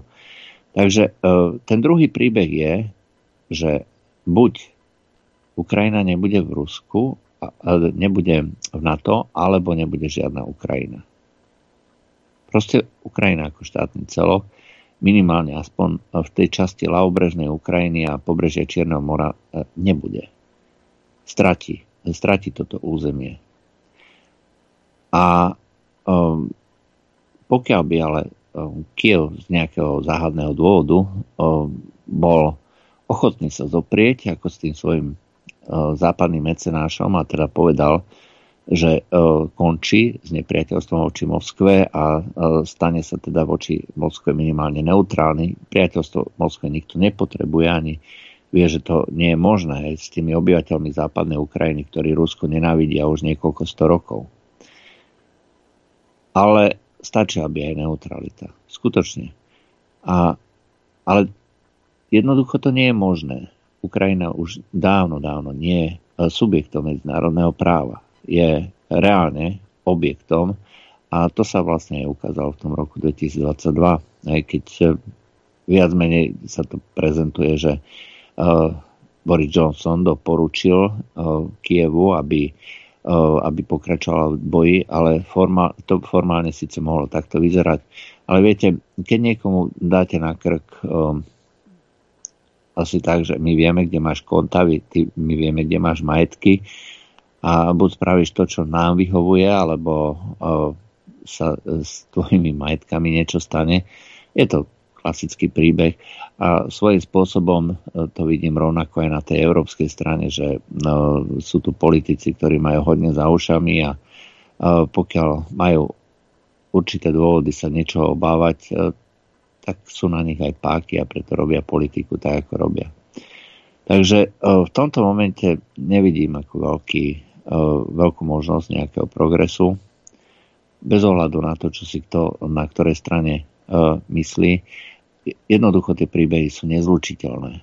Absolútne sa vylúčujú a bude to, sa to musieť e, rozhodnúť na poli boja, respektíve na poli ekonomík. A na jednej strane je teda ekonomika e, západnej Európy, hlavne teda Spojené štáty do toho už moc nechcú investovať, e, nechávajú to na pleciach Európy, ktorá postupne stráca to zbrojárske know-how, nemá zdroje, nemá suroviny a ľudia nie sú ochotní bojovať. A na druhej strane je to na blok krajín, ktorí vedia, že toto je rozhodujúca bitka a pokiaľ nepovolia, e, tak e, západná Európa alebo respektíve ten svet kolektívneho západu už nebude rozhodovať o svete. A preto buď ticho, e, alebo viac menej nahlas podporujú naopak tú druhú stranu. V skutočnosti celý svet, celý zvyšok sveta, ďaleko väčší zvyšok sveta je na strane Ruska na strane toho príbehu, ktorý hovorí o tom, že e, krajina, e, ktorá si chce zvoliť nejaké spojenectvo, sa musí pozerať na tých susedov. Že to proste nie je možné robiť bez susedov. A ak ten sused bude cítiť nejaké ohrozenie, a veľmi ťažké a veľmi zásadné ohrozenie, no tak potom si tá, potom začína sa tu natvoriť nejaký problém, hej, ktorý môže prerásť do obrovských konfliktov, úplne zbytočných konfliktov. A toto je proste ten príbeh Ukrajiny a um, bohužiaľ uh, sa ukazuje teda, že zahynie ešte veľké množstvo ľudí a bude veľké množstvo škôd. Chcete vedieť pravdu? My tiež. Počúvajte Rádio Infovojna. Dobré ráno, priatelia, pozdravujem vás všetkých. Ešte môžem dobré ráno, nie? Môžeš, môžeš. Ja mi, ja, ja mi skoré ráno skoré ráno. Pre niekoho určite. Dobre, máme hostia na telefóne? Máme na telefóne, ty ho predstav. No. no. Do, ja o ňom neviem nič z hola. Ani ja som o ňom nič nevedel a e, posluchačka ma požiadala na stretnutie, že či by sme nemohli teda a s týmto pánom, pán sa volá Pavel Zítek, Zítko teda, ospravedlňujem sa, a urobiť rozhovor, tak som sa Pozrel som sa, teda, že čo ako, naháňa ho policia, neviem čo. A v českých médiách o ňom píšu ako o dezinformátorovi, no uvidíme, uvidíme, čo, čo nám bude chcieť povedať. Dobré ráno vám prajem, pán Zitko. Dobré dopoledne nebo dobré ráno. Já zdravím naše diváky na kanále eh, facebookovým Československo TV. Čau, čau, čau. Tak to udělám i tady na hostování na Infovojně a zatím to představení je v pořádku, protože aktuálně je proti mně vedeno trestní stíhání za šíření poplašné zprávy a Teď minulý měsíc jsem angažoval advokáta, který se mnou komunikoval a nevím, jestli mě úplně uklidnil, protože říkal, po nakouknutí do 21 videí, který jsem odvysílal během dvou let, takže tam bylo vela roboty od policie, protože je vidět, jak pečlivě mě od roku 2021 do roku 2023 sledovali.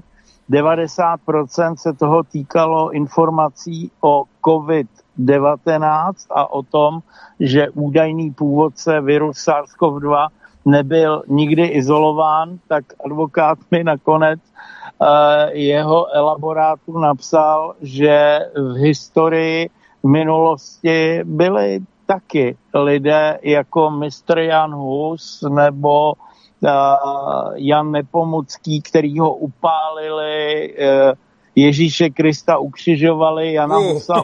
Som, som myslel, že skončíte u Jana Husa, tak budete až k Ježíšovi teda, hej? Ne, ne, ne, ne on, on tam napsal víc lidí, takže bylo vidět, že na dějepis chodil pečlivě a říkal, já vím, že máte pravdu, ale většinou se ta pravda ukáže až po letech a možná ten konec upálení náš právní řád zatím jako vylučuje, ale vás chtějí teda jenom zavřít. Dobre, prosím vás, v čom spočíva uh, tá poplašná správa? Lebo ja to čítam, že v súdnom, uh, súdnom konaní, počkajte chvíľku, Tuto niekde nejaký mainstream píše, že v súdnom konaní sa zodpoveda z šírenia lží behom pandémie koronavírusu. Kriminalisti ho súčasne preverujú kvôli podozrením zo sprenevery. A teraz zatiaľ zostaňme teda u tej, u tej lží. A, ako, no, jedna vec je lož, druhá vec je poplašná správa. Vydržte chvíľku, hej. Povedzte mi teda, čo bola, alebo čo je obsahom tej poplašnej správy, za čo vás stíhajú. 21 videí, eh, který jsem zveřejnil na svém facebookovém profilu, který máme asi ve 30 verzích, protože nemáme jako Infovojna eh, svůj kanál, takže vždycky na Facebooku nás smazali a eh, potom jsme museli založit nový kanál a za ty my máme zhruba poloviční životnost, takže natáčím od roku 2020 jedeme čtvrtý rok, tak uh, já nevím, jestli chcete, já tady tu obžalobu mám. Obžaloba je pouze za šíření poplašné zprávy. No a v čom je tá poplašná správa? Mňa toto zaujíma. No v tom, že třeba uh, jsem hlásil, že SARS-CoV-2 nebyl nikdy izolován, nebo že jsem byl proti očkování dětí. Tady je třeba uh, jedenáctá zpráva, je, začaly se registrovat tenhle ten týden tisíce detí na očkování, to mi hlava prostě Počkajte, neber. vydržte, vydržte, toto, to, vydržte chvíľku, lebo my, ja to musím nejak pojať s tým mojim malým mozočkom. Keď poviete, že, e, že SARS-CoV-2 nebol izolovaný, čo je v tom poplašného, mi povedzte? Čo, teraz ľudia ako čo, budú utekať a, a skákať tam v Chomutovej z mostu, alebo čo sa bude diať? Uh, je to poplašná zpráva, je v podstatě paragraf, který vytvořil jako slohový cvičení jeden policista, jmenuje se Lukáš Hes. Ve případu není ani jediný poškozený, kdo by si stěžoval. A jsou tam úryvky takhle uh, 21 videí, kde jsem varoval před použitím uh, injekcí COVID-19 jako před biologickou zbraní. A to ty vykladači, který stále jedou v tom narrativu, budeš mít lehčí průběh a nezemřeš, že to stále platí i přes ty uh, úmrtí zemřel náhle u vás na Slovensku Milan Lasica, uh, Meky Žbírka, Vašo Patejdl a to jsou jenom ty viditelný, uh, který lidi znali tak prostě neberou ohled na to, že lidi mají brutální zdravotní problémy po užití vakcín a to je pro ně ta poplašná zpráva, protože lidi píšou na moji podporu dopisy ohledně toho, že jsou ochotní svědčit a píšou, že jsem jim tím zachránil život a že si to nedali píchnout. Dobre, takže uh, poplašná správa bola, čo, teda, už to začínam chápať, že, že, tá, uh, že ten patok, hej, ten, ten tú, tú zmesku, čo dávali ľuďom, že, že to škodí, toto ste tvrdili verejne? Jasně, jasně. Tohle jsem tvrdil velmi tvrdě celou dobu a to je z 90% předmětem úryvky z mých videí, kdy jsem varoval před používáním, že to je genocida. Doktorka Křížová, která je souzená za šíření poplašní zprávy, taky tak dokonce říkala, že to je vakcinační holokaust.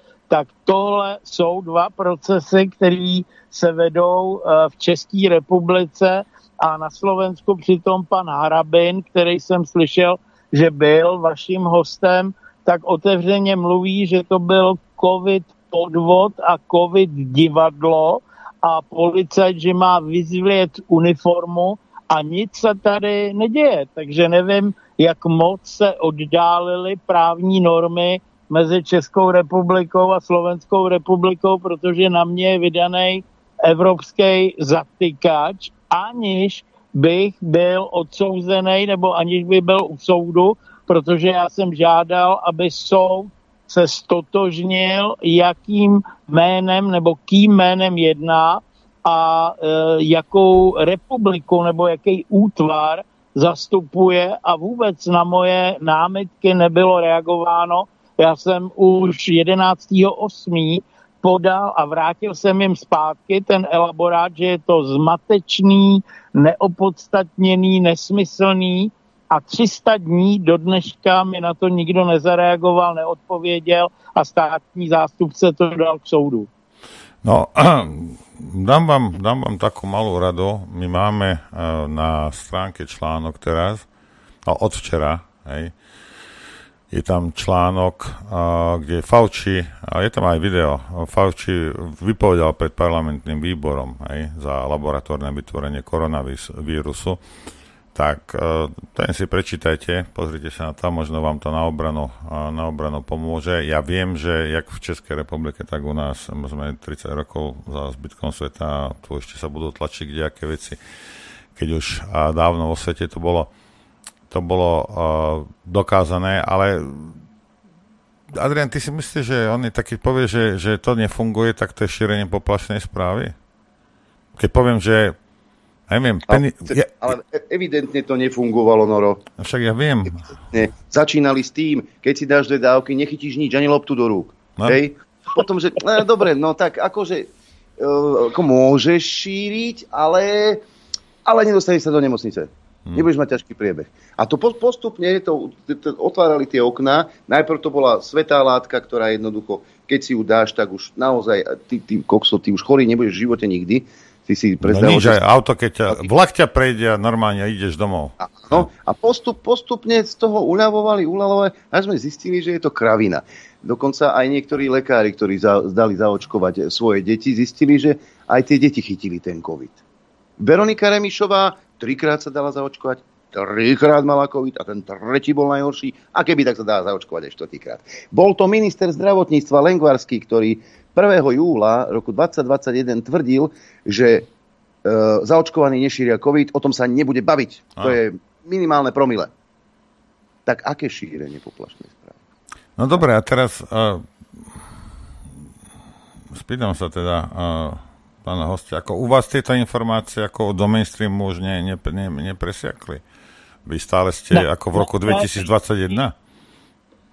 Mainstream hraje i v roce 2024 hru, že vakcína byla prospěšná, no ale hlavně ohledně těch informací, ohledně covidu je tam základ v tom, že údajný virus SARS-CoV-2, který způsobuje onemocnění COVID-19, nikdy nebyl izolován. Nikdy je to počítačově vytvořený uh, pouze vir, který je na programu Blast a všechno okolo toho, uh, tak jak říká správně pan Harabin, je divadlo jenom, protože ty, ty onemocnění a ty potíže se způsobovaly úplně, úplně jinak. O tom jsem taky informoval. Americký právník Todd Calendar má dvojminutový video, jinak děkuji za ten tip, o tom Faučím nevím, protože mám uh, omezenou, omezený přístup k internetu, ale v podstatě od roku 2020 se vytvářely nemocní čtyřmi kroky. První testovačka COVID negativní, za týden COVID pozitivní, potom začali podávat midazolam, to je látka, která se jinak používá ve smrtících injekcích a na 70% snižuje kapacitu plic, takže lidem se začalo blbě dýchat, tak nasadili remdesivir, nevím, jestli ho u vás propagovali uh, tady ano. Na Slovensku. No, však to, to, hlavně, to hlavně Fauci to propagovala hlavně. Obrovsky propagoval Remdesivir. Remdesivir způsobil 53% zabití u údajného viru Ebola v Africe, takže remdesivir vám odpojí játra, ledviny a vyskočí vám cukr a ty pacienti můžou už použití uh, remdesiviru na jipce, tam se přestěhovali lidi, to bylo 60 tisíc korun asi za jeden den na jipce, infarkt byl v Česku asi za 2,5 tisíce, takže to bylo velmi rentabilní pro zdravotnictví. No a nakonec byly ventilátory a na ventilátoru vám můžou nastavit vyšší tlak, eh, takže mohl roztrhnout plíce a nebo funguje na gigahercích který úplně nejsou pro... Dobre, ale toto, toto že nastavili vyšší... Počkajte, ale toto, že... vyráběli covidový... Zitko, vydržte chvíľku. Počkať, stop, stop, stop, stop, počúvajte. To, to, že, to, že nastavili uh, vyšší tlak, aby im rozstrelo plúca, to odkiaľ máte? Máte na to nejaké dôkazy? Jasně, to je Todd Calendar. Todd Calendar, americký právník, konečná fáze uh, a dokonce tam specifikuje, že 100 tisíc dolarů byl zhruba náklad na zabití jednoho člověka tímhletím systémem a pak nastoupily média, který začali říkat, je tady šílený virus a uh, musíte se dát všichni zaočkovat a šířili strach na základě tohohle uh, postupu, který zveřejnil Todd Calendar. Já to mám všechno odzdrojované. Dobre, takže vydržte chvíľku. Říkají, že tomu nevěří. Dobre, takže vy ste sa odvolávali na tohto Američana.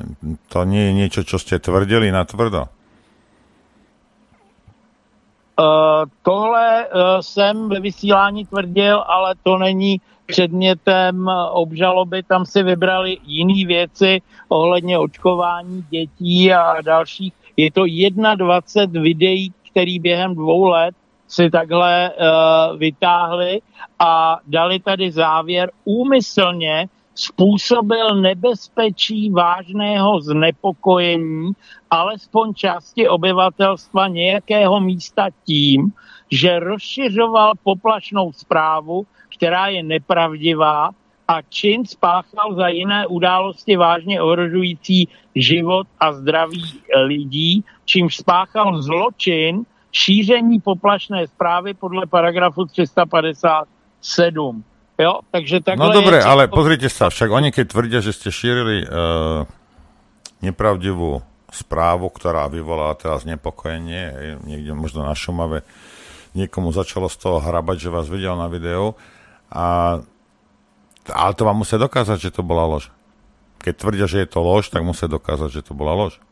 Je to, je to pravda proti lži. Těch materiálů je obrovská spousta já jsem vysílal uh, od 13. oktobra 2020 každý den, abych ukázal, že uh, žiju a že nejsem mrtvej, protože mezi tím jsem v roce 2022 třeba kandidoval na prezidenta republiky, tam nebylo označení jaký, ministerstvo vnitra dalo kandidátní lístky na prezidenta republiky a Rakušan jako minister vnitra se mě na mítingu ptal, jestli jsem kandidoval na prezidenta Československa nebo České republiky, protože oni to tam nenapsali.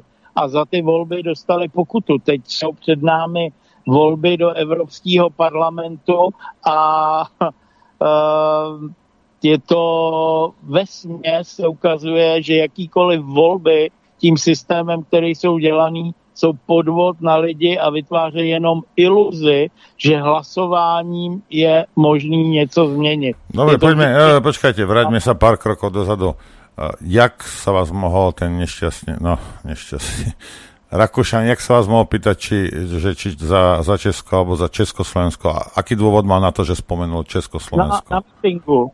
Rakušan jezdil po České republice a měl debaty bez cenzury, tak já jsem si ho uh, vychytal na mítingu v České Lípě a tam jsem se ho uh, zeptal na některé věci, třeba ten zásah na filozofické fakultě, uh, nevím, jestli tady to bylo ta střelba z toho ochozu, uh, kde policie vůbec žádný dýmovnice, žádná střelba po ním, zásah řídil novinář eh, přes nějakou policejní vysílačku. Celý to bylo takový divný, tak eh, Rakušan dostával takovýhle otázky v debatách bez cenzury, no a tam, aby mě jako schodil, tak se mě takhle zeptal, na jakýho prezidenta jsem kandidoval, jestli Československa nebo České republiky. ale aký mal dôvod na to? Nevím, asi chtěl eh, mě zesměšnit. Ale aký mal dôvod, a rozumiete, aký je kontext s tým, že Československa, toto nechápem, je rok 2024. 2024 je to, že Československo bylo rozděleno protiústavním, protizákonným, vlastizrádným způsobem v roce 1990, protože neproběhlo referendum podle zákona 327 z roku 1991, i když o tom všade rozprávali, tak to v podstatě rozdělili politici bez vůle lidu a Československo i nadále je třeba v listině základních práv a svobod v článku 42, který je součástí ústavy, protože tam se stále píše o občanu, České a Slovenské federativní republiky. A korporace, a u vás Matovič to říkal uh, naprosto otevřeně, minimálně mám tři vystoupení, kde říkal, že Slovenská republika je akciová spoločnosť a že je tu 5,5 milióna akcionárov, to znamená, že je to korporace, firma a udělali rozdělení Československa tak, aby následne... Dobre, dobre, nechajme, nechajme toto, lebo pozrite sa, dúfam, že, že neveríte tomu, že s týmito argumentami, že niekto teraz spojí, či, alebo niekto sa prizná, že, že urobil tunel, aj. Ako toto, toto, táto téma bude zakopaná tak hlboko, keby ste mali aj stokrát pravdu, aj. S týmto nikto nebude operovať, aj. Nikto, dnes určite, určite nie, ale... Chcem, chcem sa vás... optimista, protože ve světě se budou dít změny a američani se změnili na korporáciu. V roce 1871 bylo založený United States Incorporation a původně Spojených státy vznikly jako republika v roce 1776, takže my to nemáme tak daleko se vracet zpátky, protože když to vezmeme, tak uh, už uh, komunisti byl problém s tím pučem po druhé světové válce v únoru 48, protože prezident Beneš tenkrát nepodepsal komunistickou ústavu. A v roce 69 byl další protiprávní krok federalizace Československa, protože Československo bylo založeno jako unitární to znamená nerozdělitelný stát. A to bylo potvrzený Benešovými dekretama po druhé světové válce.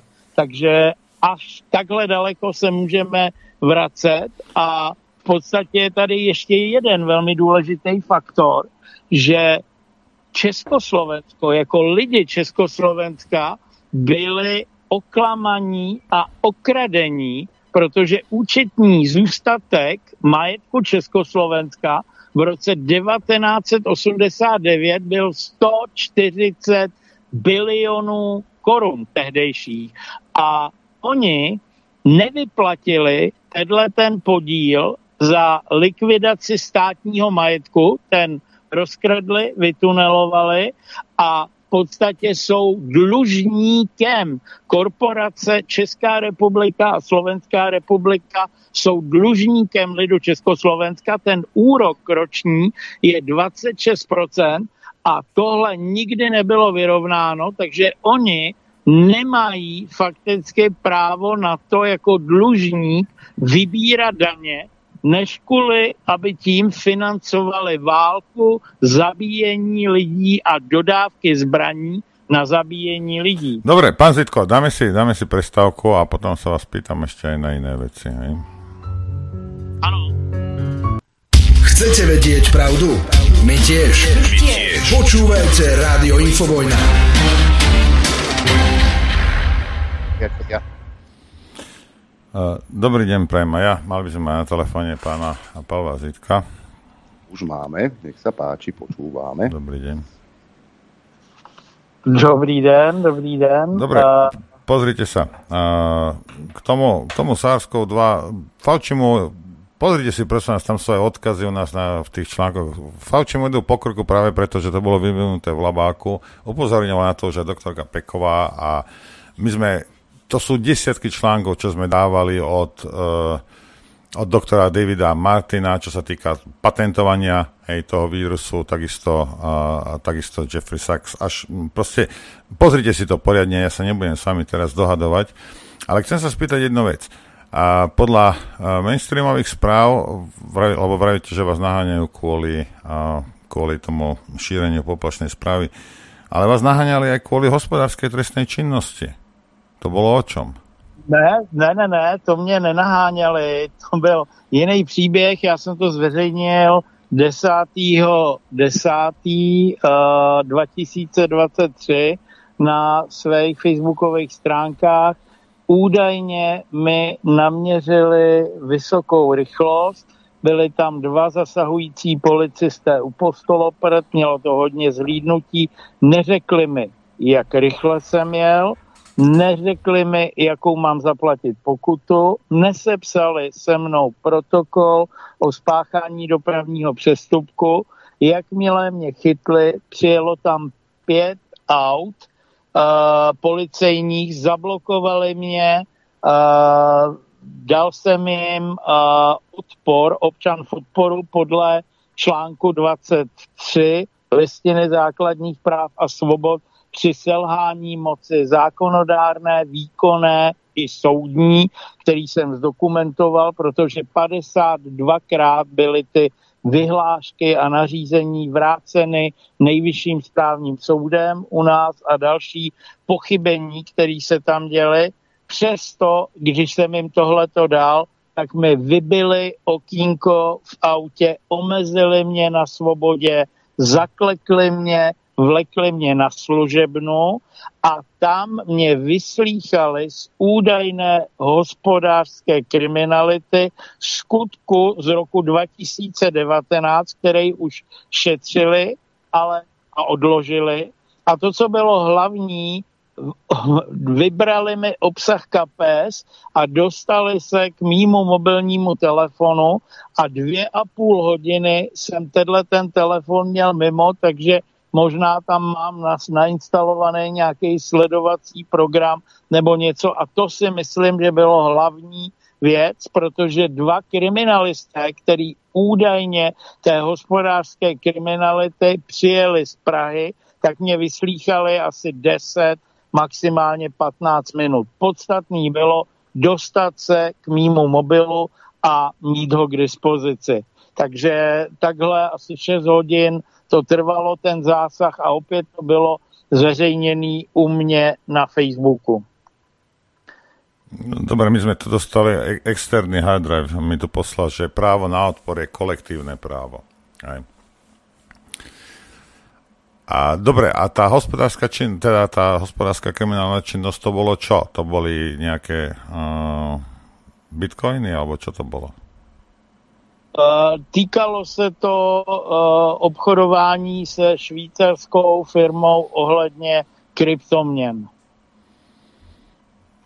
Dobre, a, a, a čo? Za, za... nepatřila, ta firma nepatřila mně, já jsem tam byl pouze jako marketér, nikoliv jako člen představenstva. Ta firma doteď funguje a tím, jak bankovní systém tady ovládá všechno a v podstatě jakýkoliv fintech produkty který, a projekty, které byly, tak tam samozřejmě byly terčem zásahu regulátorů a i tohle to byl ten příklad, kdy švýcarská firma zabavila uh, bitcoiny, etherea ve dost značný množství, aby firmu paralizovala.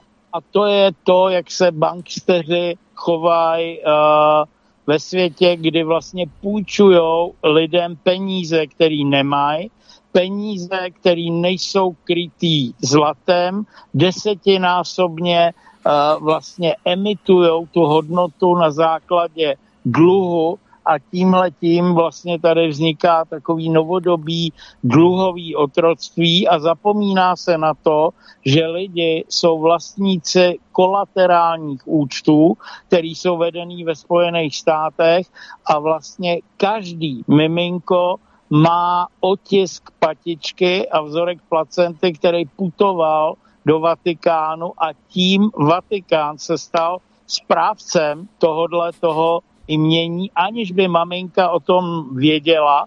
A vlastně tohle koresponduje i s tím, že jsem viděl velké množství rodných listů a hlášení o narození dítěte, kde lidi byli registrovaní do neexistujících států. Třeba v roce 1970 byl uh, rodný list Česká socialistická republika, která neexistovala, byla jenom Československá.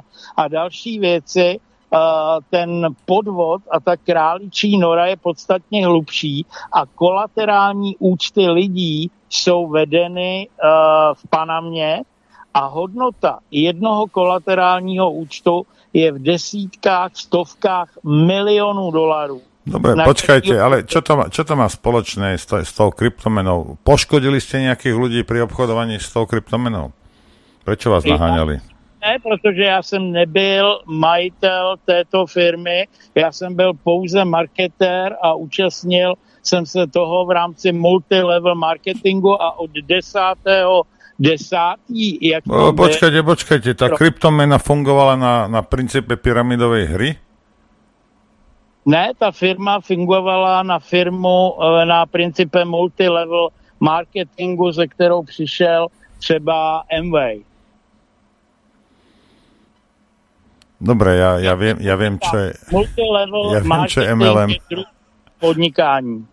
Dobre, a teraz, no, ale tak mi povedzte, ako, dobre, toto ma celkom zaujíma, ako, a, keď použijete MLM, tak ako, jak, jak to, to sa bavíme teraz, bavíme sa o peniazoch, hej, aj keď je to kryptomena, no však dobre, ale tak z čoho sa, z čoho sa vyplácali potom tie zisky?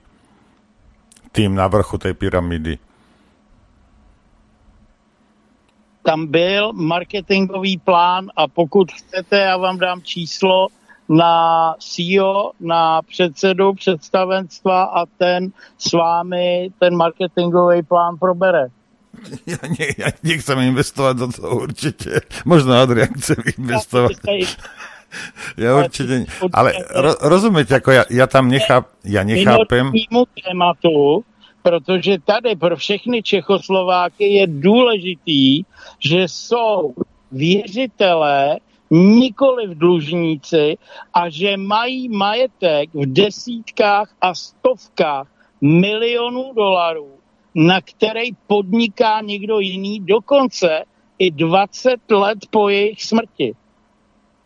To je si myslím podstatná částka, která se tohodle týká, protože te, celý tenhle ten systém byl podvodně udělaný tak, aby ze států se staly korporace a my v době, jak jste vyhlásili tu přestávku, tak jsme nedošli k zákonu 542 z 25.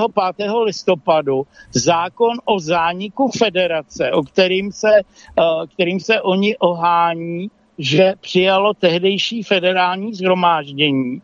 Ale je tam jedno obrovský ale, protože v té době jsme neměli prezidenta. Prezident Václav Havel abdikoval 20. července, tudíž nemohl parafovat tenhle ten dokument, což ví každý gymnazista, že každý zákon, aby platil, musí podepsat prezident. Další ústavní činitel, předseda federálního schromáždění v té době byl Aleksandr Dubček. A ten měl v roce 1992 úplnou náhodou autonehodu u Humpolce 1. září a 7. listopadu zemřel. Tudíž nemohl podepsat tento zákon a Jan Stráský, který byl tehdy v roce 92 předseda ČSFR, předseda vlády, tak měl vládu s důvěrou vzniklou ve volbách 5. a 6. června jenom do 39.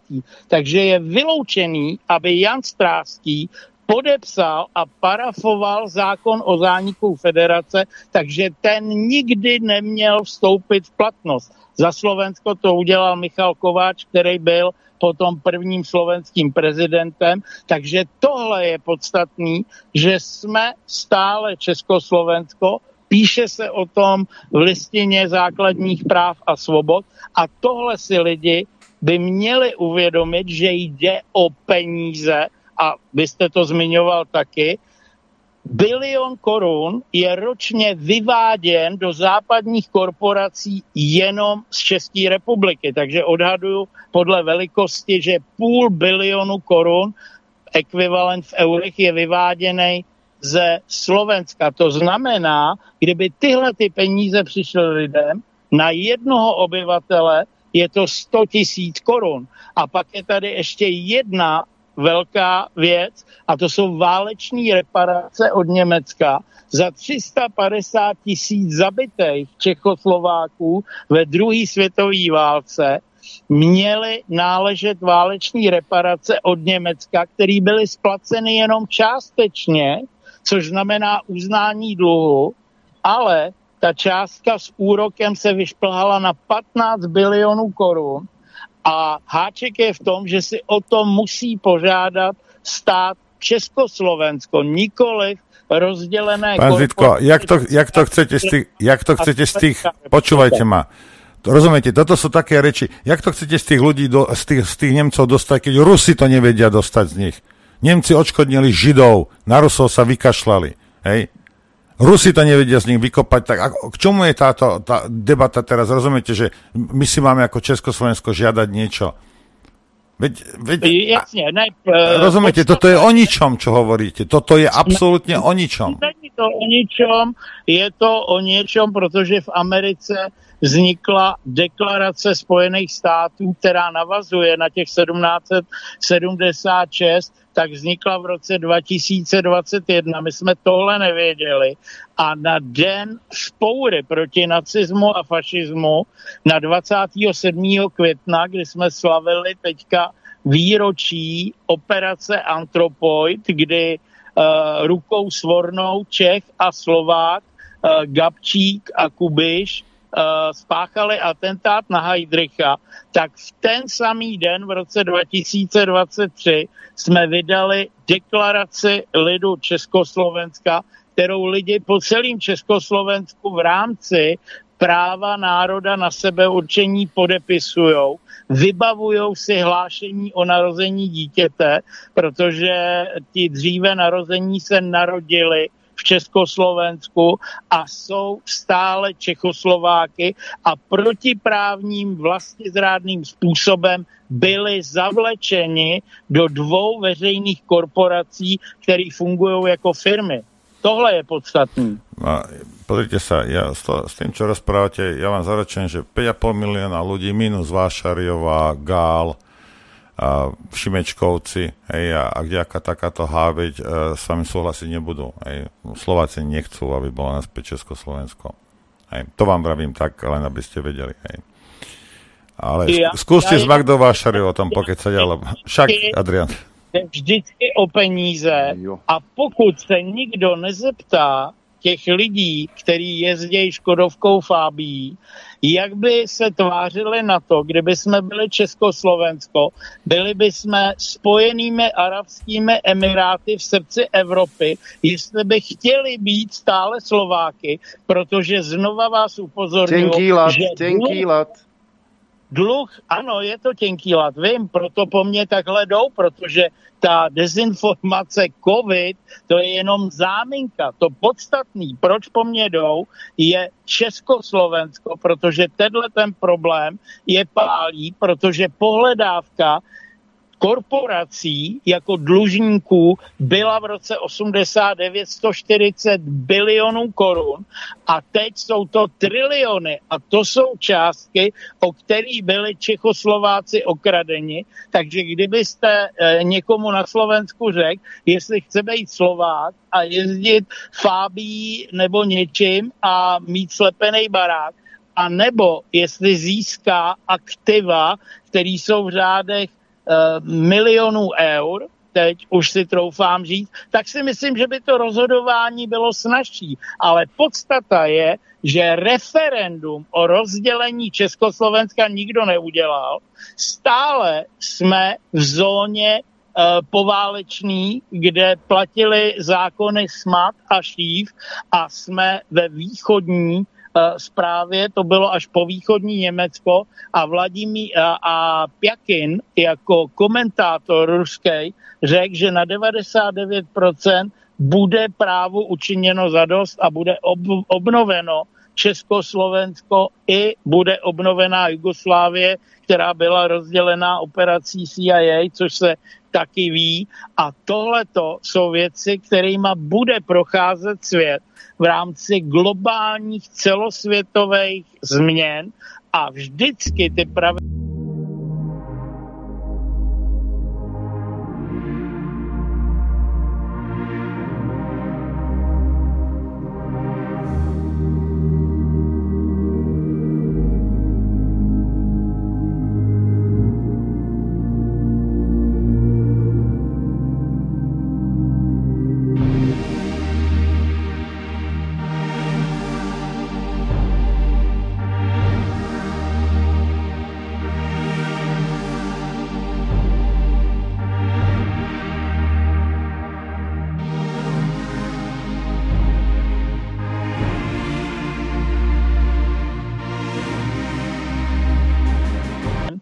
Rusko podle článku 106 a 107 právo zasáhnout bez souhlasu spojenců proti nacismu a fašismu kdekoliv na světě.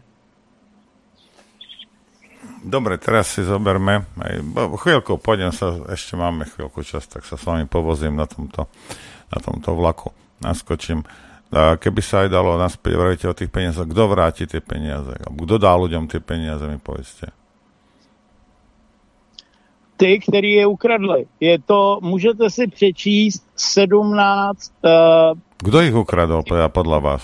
Obnovení Československa. No tady byla hra na vypořádání majetku. Lidi si to ještě pamatujou. Ta hra se jmenovala kuponová privatizace, která vyvolávala uh, pocit, že lidi dostanou něco z československého majetku. Víte, v té době tam byl takový zrzavý Čech, Viktor Kožený se jmenoval, byla to istota desetinásobku nebo něco. A tohle byla almužna na to, co se rozkradlo a co teče do západních korporací, znova opakuju, je to výrok Reichla, to je ten novopolitik, který řekl, že z české strany teče mimo republiku 1 bilion korun. To je 100 tisíc korun na každého Čechoslováka, je vyved... Čecha a Moraváka a Slezana. To je to, co je vyvedeno každý rok mimo republiku, takže ta životní úroveň na kterou by lidem mohlo záležet, tak by byla podstatně vyšší a samozřejmě ty, kteří ukradli tím nelegitimním rozhodnutím, tak ty nahrabali obrovský majetky nelegálním spôsobom. Takže no, chcem sa vás pýtať takto, no, chcem sa vás pýtať takto. Nedával náhodou kožený za tisíc e, korunovú kuponovú knižku 10 tisíc? A, jo, a prišiel, prišiel tam k ľuďom a povedal, že počúvajte, keď mi to nepredáte za 10 litrov, ja vás zastrelím, alebo čo? Však tí ľudia to urobili dobrovoľne. Však boli nenažratí a, a chceli rýchlo 10 násobok. Byl to, byl to odrb a no, byl to... áno, áno, bol. No, no a nenažranci sa nechali nachytať. Účetní, účetní majetek Československa v roce 1989 byl 140 bilionů korun, který Čechoslovákům nikdo nevyplatil.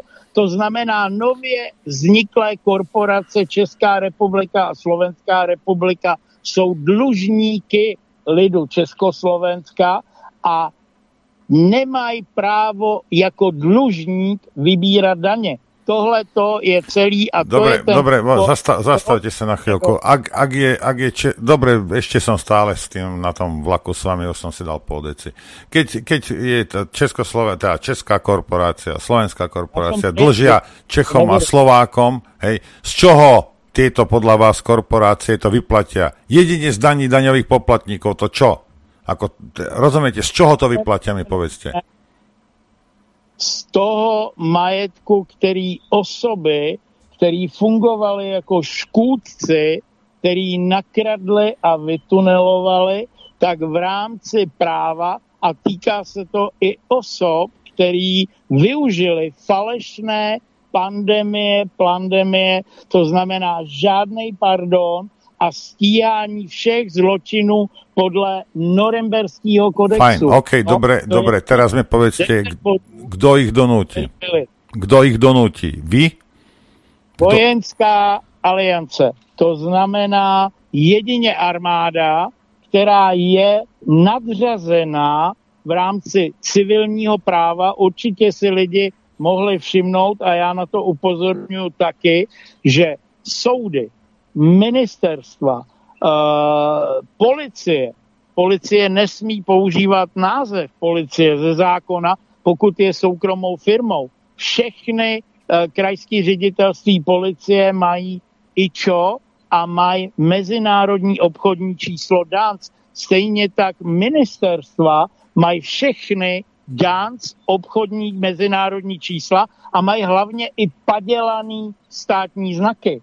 Jo, že tam jsou stejný jenom ty čtyři zvířata, ale vůbec nevypadají stejně jako státní znak na uh, stránkách ministerstva vnitra České republiky a bylo to celý zaměřený na krádež národní hrdosti a identity lidí na, na krádež hrdosti. S vaší hymnou vydrbali jedním slovíčkem, protože v československý hymně se zpívalo Zastavme sa, bratia, a tady v téhletý akciové společnosti Slovensko se zpívá Zastavme ich, bratia. A další takovýhle jemný niance, který udělali a který všechny byly udělaný protiprávně, znova opakují bez vůle lidu, bez referenda, protože lidí, jestli se chtějí rozdělit, se nikdo neptal. A já teď v rámci dovolenky nucený, kterou mám, jezdím uh, Polsko, jsem byl uh, Slovensko, Rakousko, Maďarsko a ptám se nejrůznějších Čechoslováků a ty lidi velmi slyší na to, že nechápou, proč byli rozděleni a v rámci práva na sebeurčení můžou i děti jak se klasifikovat jako Čechoslováky, takže si myslím, že vůbec nás není málo a vůbec o tomhle tom není rozhodnuto, že tohle je nějaká definitiva, protože na právu a bezpráví nelze postavit právní stát a ohánět se tady tím třeba u soudů, že jsou nezávislé, je nesmysl, protože každý soud má opět IČO a mezinárodní obchodní číslo DANS, takže jedná v zájmu někoho proti někomu a rozhodně není nezávislý. Dobre, a vy si myslíte teda, že presvedčíte uh, Čechov a Slovákov o tejto veci, lebo pozrite sa, tu ide o jednu vec. Uh, 100 eurová, počkajte chvíľku, 100 eurová bankovka hej, má hodnotu možno 30 centov, nech 50 centov, ten kus papiera, hej. Uh, 100 eur je preto a preto dostanete toľko za to, lebo všetci s tým súhlasia, že toto je asi tak, takáto je dohada a tak, je tak to, to funguje. Dohody, Hej, ale, ale to, čo vy rozumiete, to je jedno, keby ste mali tisíckrát pravdu, keď to nikto nechce, hej, tak sa to nestane. Iba uh, toľko som vám chcel uh, povedať. Hej. Ideme si zahrať. Toho...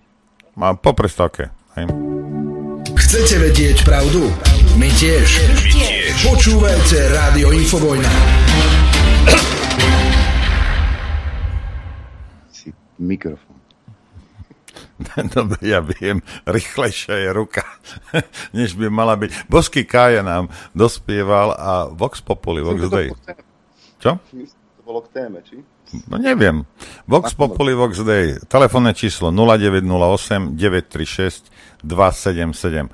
Voláte mne. Nie, Do 54 sa telefónuje. Áno. E, krásne ráno z Ostravy. Máte hosta Fénoviče, podvodníka z ala České alternatívy, tahá z lidí prachy za šmejdy, co im prodáva. I kryptopodvody má za sebou. Když tam byli Terabova s Kamalou, ty delaj niečo pro lidi, odhalujú COVID podvody, pozor na Zítka Fénoviče i podpisy na kandidatu, že nebyli v množství, ktoré deklaroval prachy za kampaň, roztočil s pozdravem dlouholetá posluchačka. Pán Zítko? To je uh, já mám já, já, mám, já mám spoustu hejtrů, agentů a fízlů, který po mně jdou uh, tímhletím způsobem. Uh, Fenovič je narážka na terahercový přístroj, který před rokem si vzala uh, Česká obchodní inspekce, kde mě přepadly v restauraci čtyři policisté a zabavili tenhle ten přístroj na expertízu a doteďka ta expertíza není hotová. Takže obrázek si může udělat každý sám. Já za více jak tři a půl roku mám spoustu takovejhle lidí, který po mně jdou. Uh, moje motivace, tak jak jsem říkal, uh, jak se vytvářely covid oběti, tak byla, že mi tímto způsobem zemřela moje maminka za tři týdny přesně po hospitalizaci z bolestí břicha zemřela na covidovém oddělení, takže mám velký podezření, že těchto těch obětí bylo takhle dělaných spousta a posluchačku zdravím a určitě si myslím, že to je eh, některá z Illumicat nebo některých, ale to si člověk... Dobre, máme, dobre, máme telefonát. Dobrý deň, nech sa páči, hovorte. Dobrý deň, Milan pri telefóne. No, taká otázka, že už keď niečo hovoríme, alebo hovorí ten pán o, o, o Československu, ako je, ako by chcel nejakú firmu donútiť, alebo nadnárodnú spoločnosť, že zaklopím na dvere. Ste Poved, na to, povedal, že ar, armádou, nejakou armádou povedal, že nejakú armádu. a ar, armádou ktorého aliance. štátu, lebo my máme ozbrojené sily. Ja neviem, on ako armádou. Mimo ňou, alebo... Ale Dobre, necháme ho. Ďakujeme.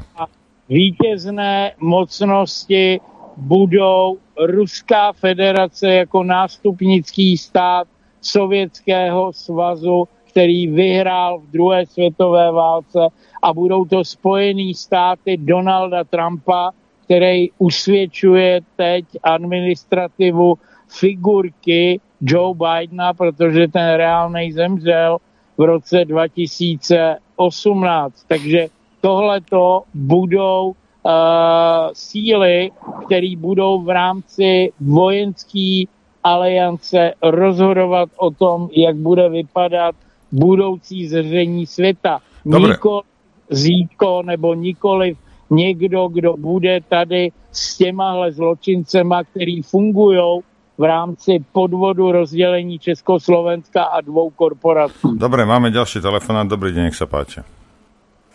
Dobrý deň, prajem, to je poslucháč Vládo z Prešova. E, Tomuto znatenému, znatenému pánovi vysvetlím iba jednu vec. Aj keby dal Slovákom, väčšine Slovákov uh, ku nohám všetko zlato na svete, peniaze nie, lebo to nemajú žiadnu hodnotu, ale všetko zlato, tak e, Slováci nechcú, alebo by sa nechceli vrátiť do spoločného štátu s Čechmi.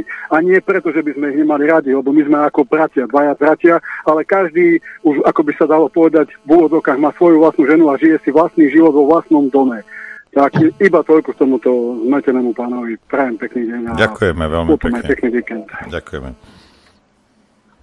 K tomuhle pánovi reakce na podvodu zákona 542 z roku 1992, který neměl kdo parafovat, tak není možno vystavět právní a spravedlivý systém. Takže to je jenom komentář k tomuhle tomu, protože uh, Československo bylo rozděleno podvodem bez referenda.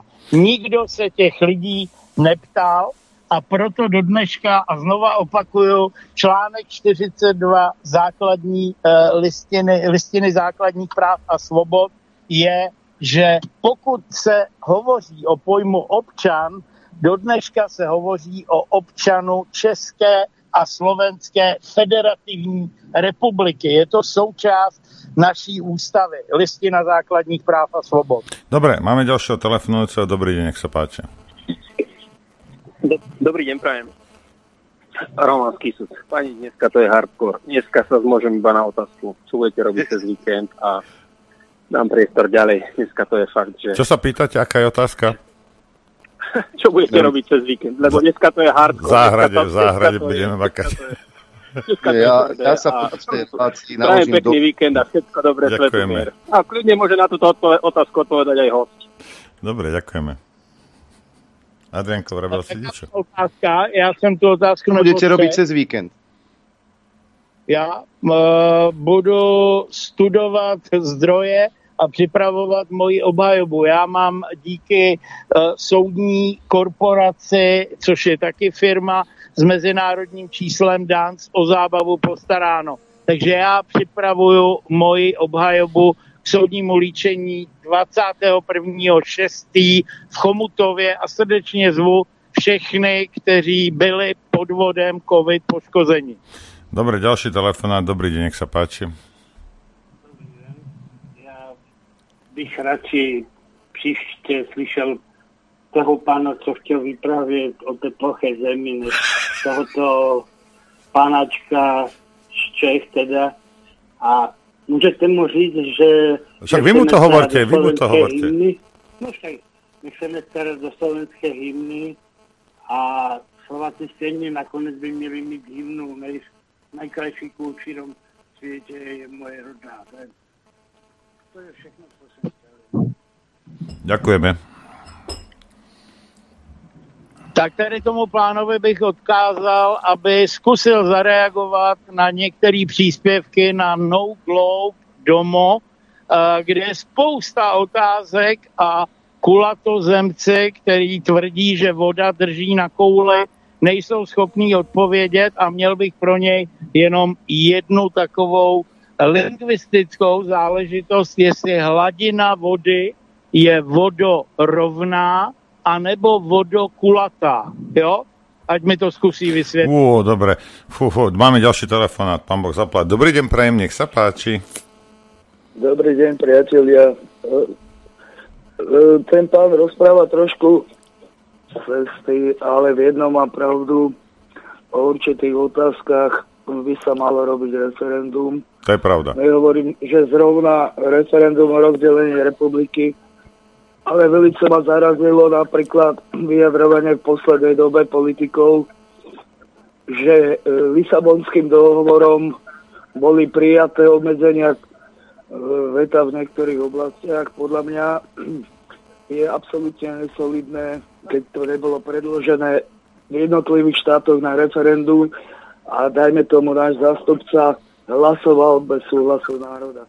Tak to je všetko, chlapci. Ďakujeme. E, Noro, ešte Áno. tebe by som chcel povedať, že neviem sa do, dovolať Adrianovi. Zakrypnutá Bratislava.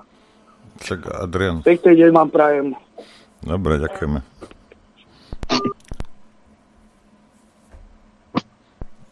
Eh, K tomuhle se vyjádřit eh, je spousta lidí, kteří se snaží řešit Czexit, Slovako, Exit a nějaký exity z Evropské unie. Spousta lidí se bojí, aby náhodou nebyla mobilizace a aby jsme nebyli uh, nelegitimníma vládama vehnaný do konfliktu na Ukrajině, respektive naši lidi. A tohle je uh, zásadní, že nemusíme nic takového řešit, protože Československo nikdy nebylo členem Evropské unie, Československo nikdy nebylo členem spolku NATO a veškerý idiotský normy, které přicházejí z Evropské unie, mluví se o teďka tom migračním paktu, Green Dealu a dalších věcech, který doslova vyžmíkávají jako citron lidi a vedou je do ekonomických obtíží, protože eh, jenom stěžují podmínky pro život, tak všechno toto by odpadlo, pokud by lidi používali mozek a nemuseli by respektovat tyhle ty eurokratický, bruselský výmysly, který nejsou ve prospěch lidí. Dobre, máme telefonát. Dobrý deň, nech sa páči.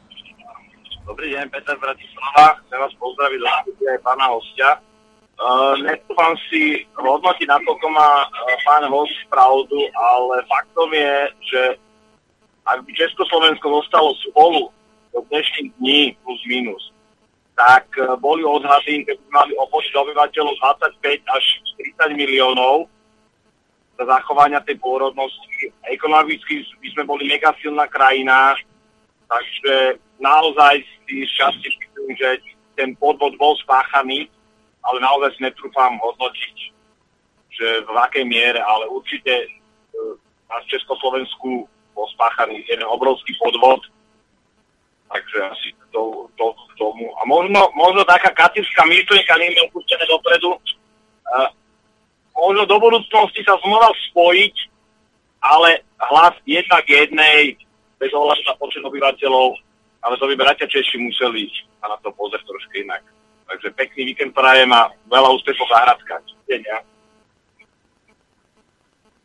Takže Ďakujeme. zdravím Bratislavy. Eh, Bratia Češi jsou úplně v pohodě. Eh, Myslím si, že naše vztahy jsou velmi, velmi přátelské a to, že byl spáchaný podvod, je bez diskuze. Klobouk dole před tady bratislavským názorem a jenom na okraj řeknu to, eh, co teď v euforii eh, po mistrovství světa v hokeji, kdy jsme získali zlato, tak se jednalo o složení mužstev pro turnaj čtyř zemí, nevím, jestli se to jmenuje Světový pohár, kde byly předběžně nominovaný Kanada, Spojené státy, Švédsko a Finsko.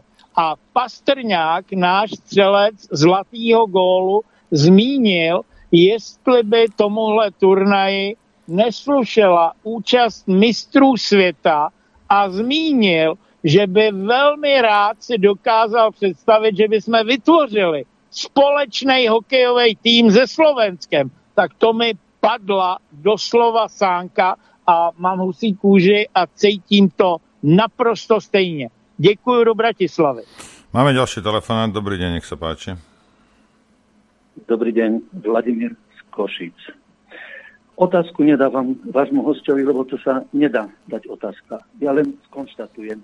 Pán Boh má veľkú zoologickú záhradu. Pán Norbert, pán Adrian, dneska ste vstúpili rovnými nohami tejto zoologickej záhrady. Prajem krásny, príjemný deň. Všetko dobré. Ďakujeme veľmi pekne. Prosím. Krásný den na východ do Košic a e, dám tam to, co máme na zástave Pravda víťazí. Adrianko, máš, máš tam nejaký, nejaký e-mail? Tých mailov je No tak množstvo. prečítaj niečo. Eh, počkaj, s- Zo pár videí tohto pána som pozerala v čase covidu, ale zdalo sa mi, keď sa to má 5. cez 9, že je taký ultrakonšpirátor, tak ma viac nezaujímal. Veľmi ma prekvapilo, že dnes je vašim hostom, ale nesklamal, zase splieta rôzne veci dohromady a má dar výborne vyklúčkovať z vaše otázky a odviesť tému, kam on chce. Ja mu odkazujem, že som veľmi rada, že sme sa rozdelili na dva štáty. A ešte jeden, e, tu máme. Dobré ráno, tá pani zo stretnutia, ktorá vás prosila e, o hostia pána Zítka, vám urobila medvediu službu. On spája polobravdy s pravdami, tie dogmy sa nedajú počúvať. Mohli ste si preveriť vopred, o koho sa jedná. Marta. Máme ďalší telefonát. Dobrý deň, nech sa páči. Ahojte, tu je Tibor. E, tak, e, tak to poviem. E, na Slobodnom rádiu vystupoval jeden taký e, právnik, taký silnejší, potom ešte pán Černý a ešte pána Zitka poznám tiež z Facebooku. Ale asi od roku 2019 sú v Česku sústavne tieto, tieto snahy, dokonca pán Černý vystupoval aj na nedávnych protestoch v Prahe. A jedine, koho som počul o spájaní e, s Čechmi, sú samotní Čechy, Češi. A my sme nikdy nechceli s vami byť e, spojení. V podstate to bolo len e, využitie na to, aby, aby vznikla republika, aby sme e, nespadli pod Maďarov, aby sme sa nerozdelili medzi Maďarov a Poliakov. Taká je čistá pravda. Proste, či sa vám to páči alebo nie, nikto nechce s vami byť e, spojený. Za to, že vy ste v sračkách, z tých sračiek sa musíte vy sami. My sme si tu vy... E, veľmi... Mizne, mizneš, mizneš nám, vydrž. No hovor. My sme si vytvorili veľmi dobrý koncept alternatívy. Vy ste v tom absolútne neúspeli. Tá alternatíva naozaj nás vyťahla. Na, stačilo len pár percent, aby sme získali 79 poslancov. A vy, vy ste nevyužili tú, to okno príležitosti, príležitosti počas covidu, ako ste mohli využiť. Lebo ste mali mizerný koncept. Slobodný vysielač postavený na jednom koncepte, Infovojna na úplne inom.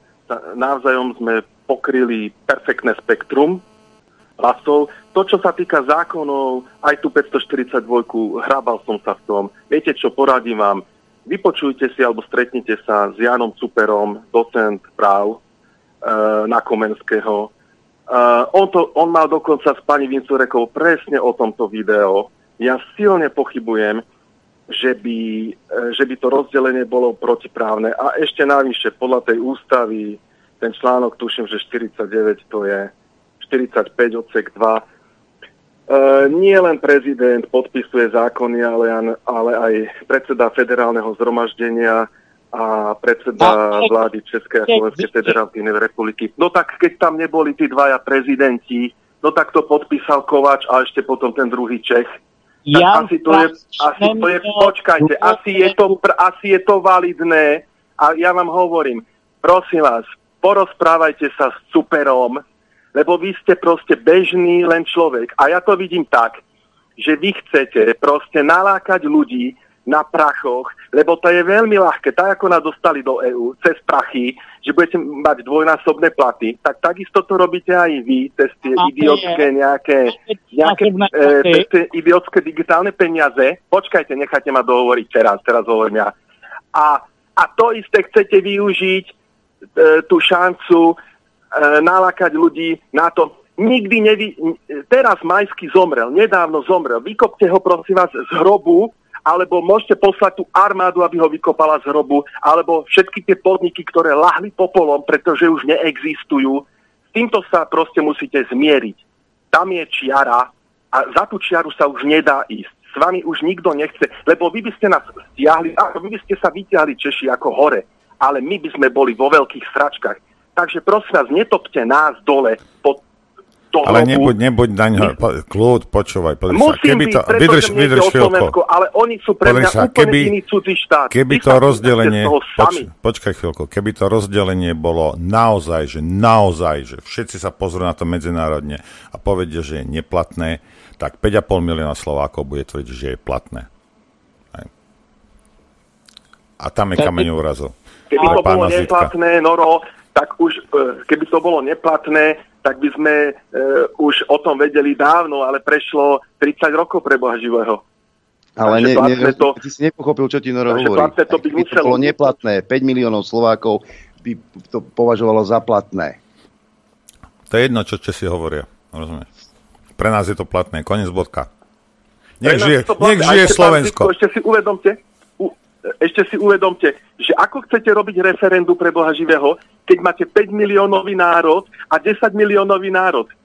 Ako chcete? To by sa dalo robiť len keď, vtedy, keby ste mali 5 a 5, alebo 10 a 10, ale nie 5 a 10. Lebo tam neviete vytvoriť tú váhu, kde máte ten stred. Musí sa, sa to lámať na tom strede. Ako chcete e, e, povedať, že kedy je platné? To sa, to sa nedá. Sa nedá. Museli by byť tie referenda dva. Totižto. A keď budú, e, keď budú rozdiely, že jeden bude za a za, druhý bude proti, tak ako to potom budete riešiť? Jeden povie, že je to platné, druhý povie, že nie je to platné. Proste to, to, toto presne hovorí aj super. To si vypočujte u pani Junce, Vincovrekovej. Tam proste bola jediná možnosť, tá 542, ten zákon, inak sa nedalo. Inak by to boli nekonečné spory. Dobre, No, majte sa, čas, dobre. čas Ahoj. e, sa naplňa. Ďakujeme ešte. Pán Zitko, samozrejme, môžete reagovať na to. Hej, ja vypínam telefon. Tady nejde o to, a ani jednou jsem neřekl, že chceme vypisovat referendum. Jestli se Slovákům páčí Green Deal, migrační pakt, všechny Ale my nemôžeme za to, že ste si zvolili Fialu. unie, který směřují k tomu, aby lidi rypakom ryli v zemi, tak je to jenom jejich věc. Ale nebylo vypsaný referendum v roce 92, tudíž rozdělení proběhlo vlastizrádným nelegitimním způsobem a k tomu komentář mluví se, že národ, který má míň jak 10 milionů obyvatel, nemá života schopnost, aby fungoval uh, samostatně. Proto bylo spojený Československo v roce 1918 jako unitární, to znamená nerozdělitelný stát a v roce 1946 bylo tohle potvrzeno Benešovými dekrety. Pro Dobre, Slováky- pán Zitko, pán Zitko, čas sa nám naplnil. Hej. pokud by byla volba, tak buď Československo, anebo Uhersko se Slovenskem, aby byl splněný ten počet obyvatel. Dobre, ďakujeme vám veľmi pekne. Adrianko? Ďakujeme, do počutia, dovidenia. No, ako mám o čom rozmýšľať celý víkend. Naozaj? Mám o čom. Naozaj? Či si dve fľaše vodky alebo štyri. E, ja vám všetkým ďakujem za pozornosť, za podporu.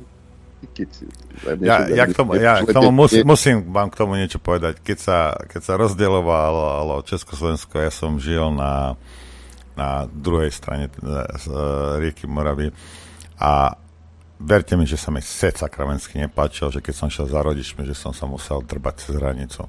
Hej. A bol som vytočený. A bol som vytočený aj za to, že sa mňa nikto nespýtal. To je tiež pravda. Ale dnes je to platné, to rozdelenie. Tvrdím ja. Čo vravíte vy ostatní? Adrenko, prajem ti pekný víkend. Aj tebe prajem. Všetkým prajem pekný víkend. Ja idem, ne, neviem kam idem. Majte. Poslucháčom, divákom, ktorí podporujú, eh, podporujú aj, aj, aj, aj takéto relácie, tak samozrejme ďakujem.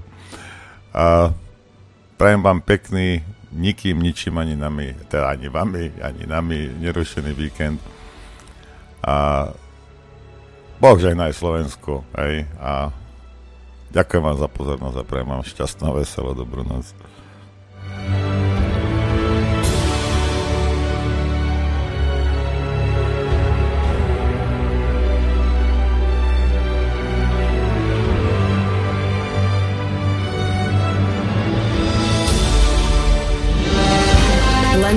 Vašim príspevkom sme nezávislí.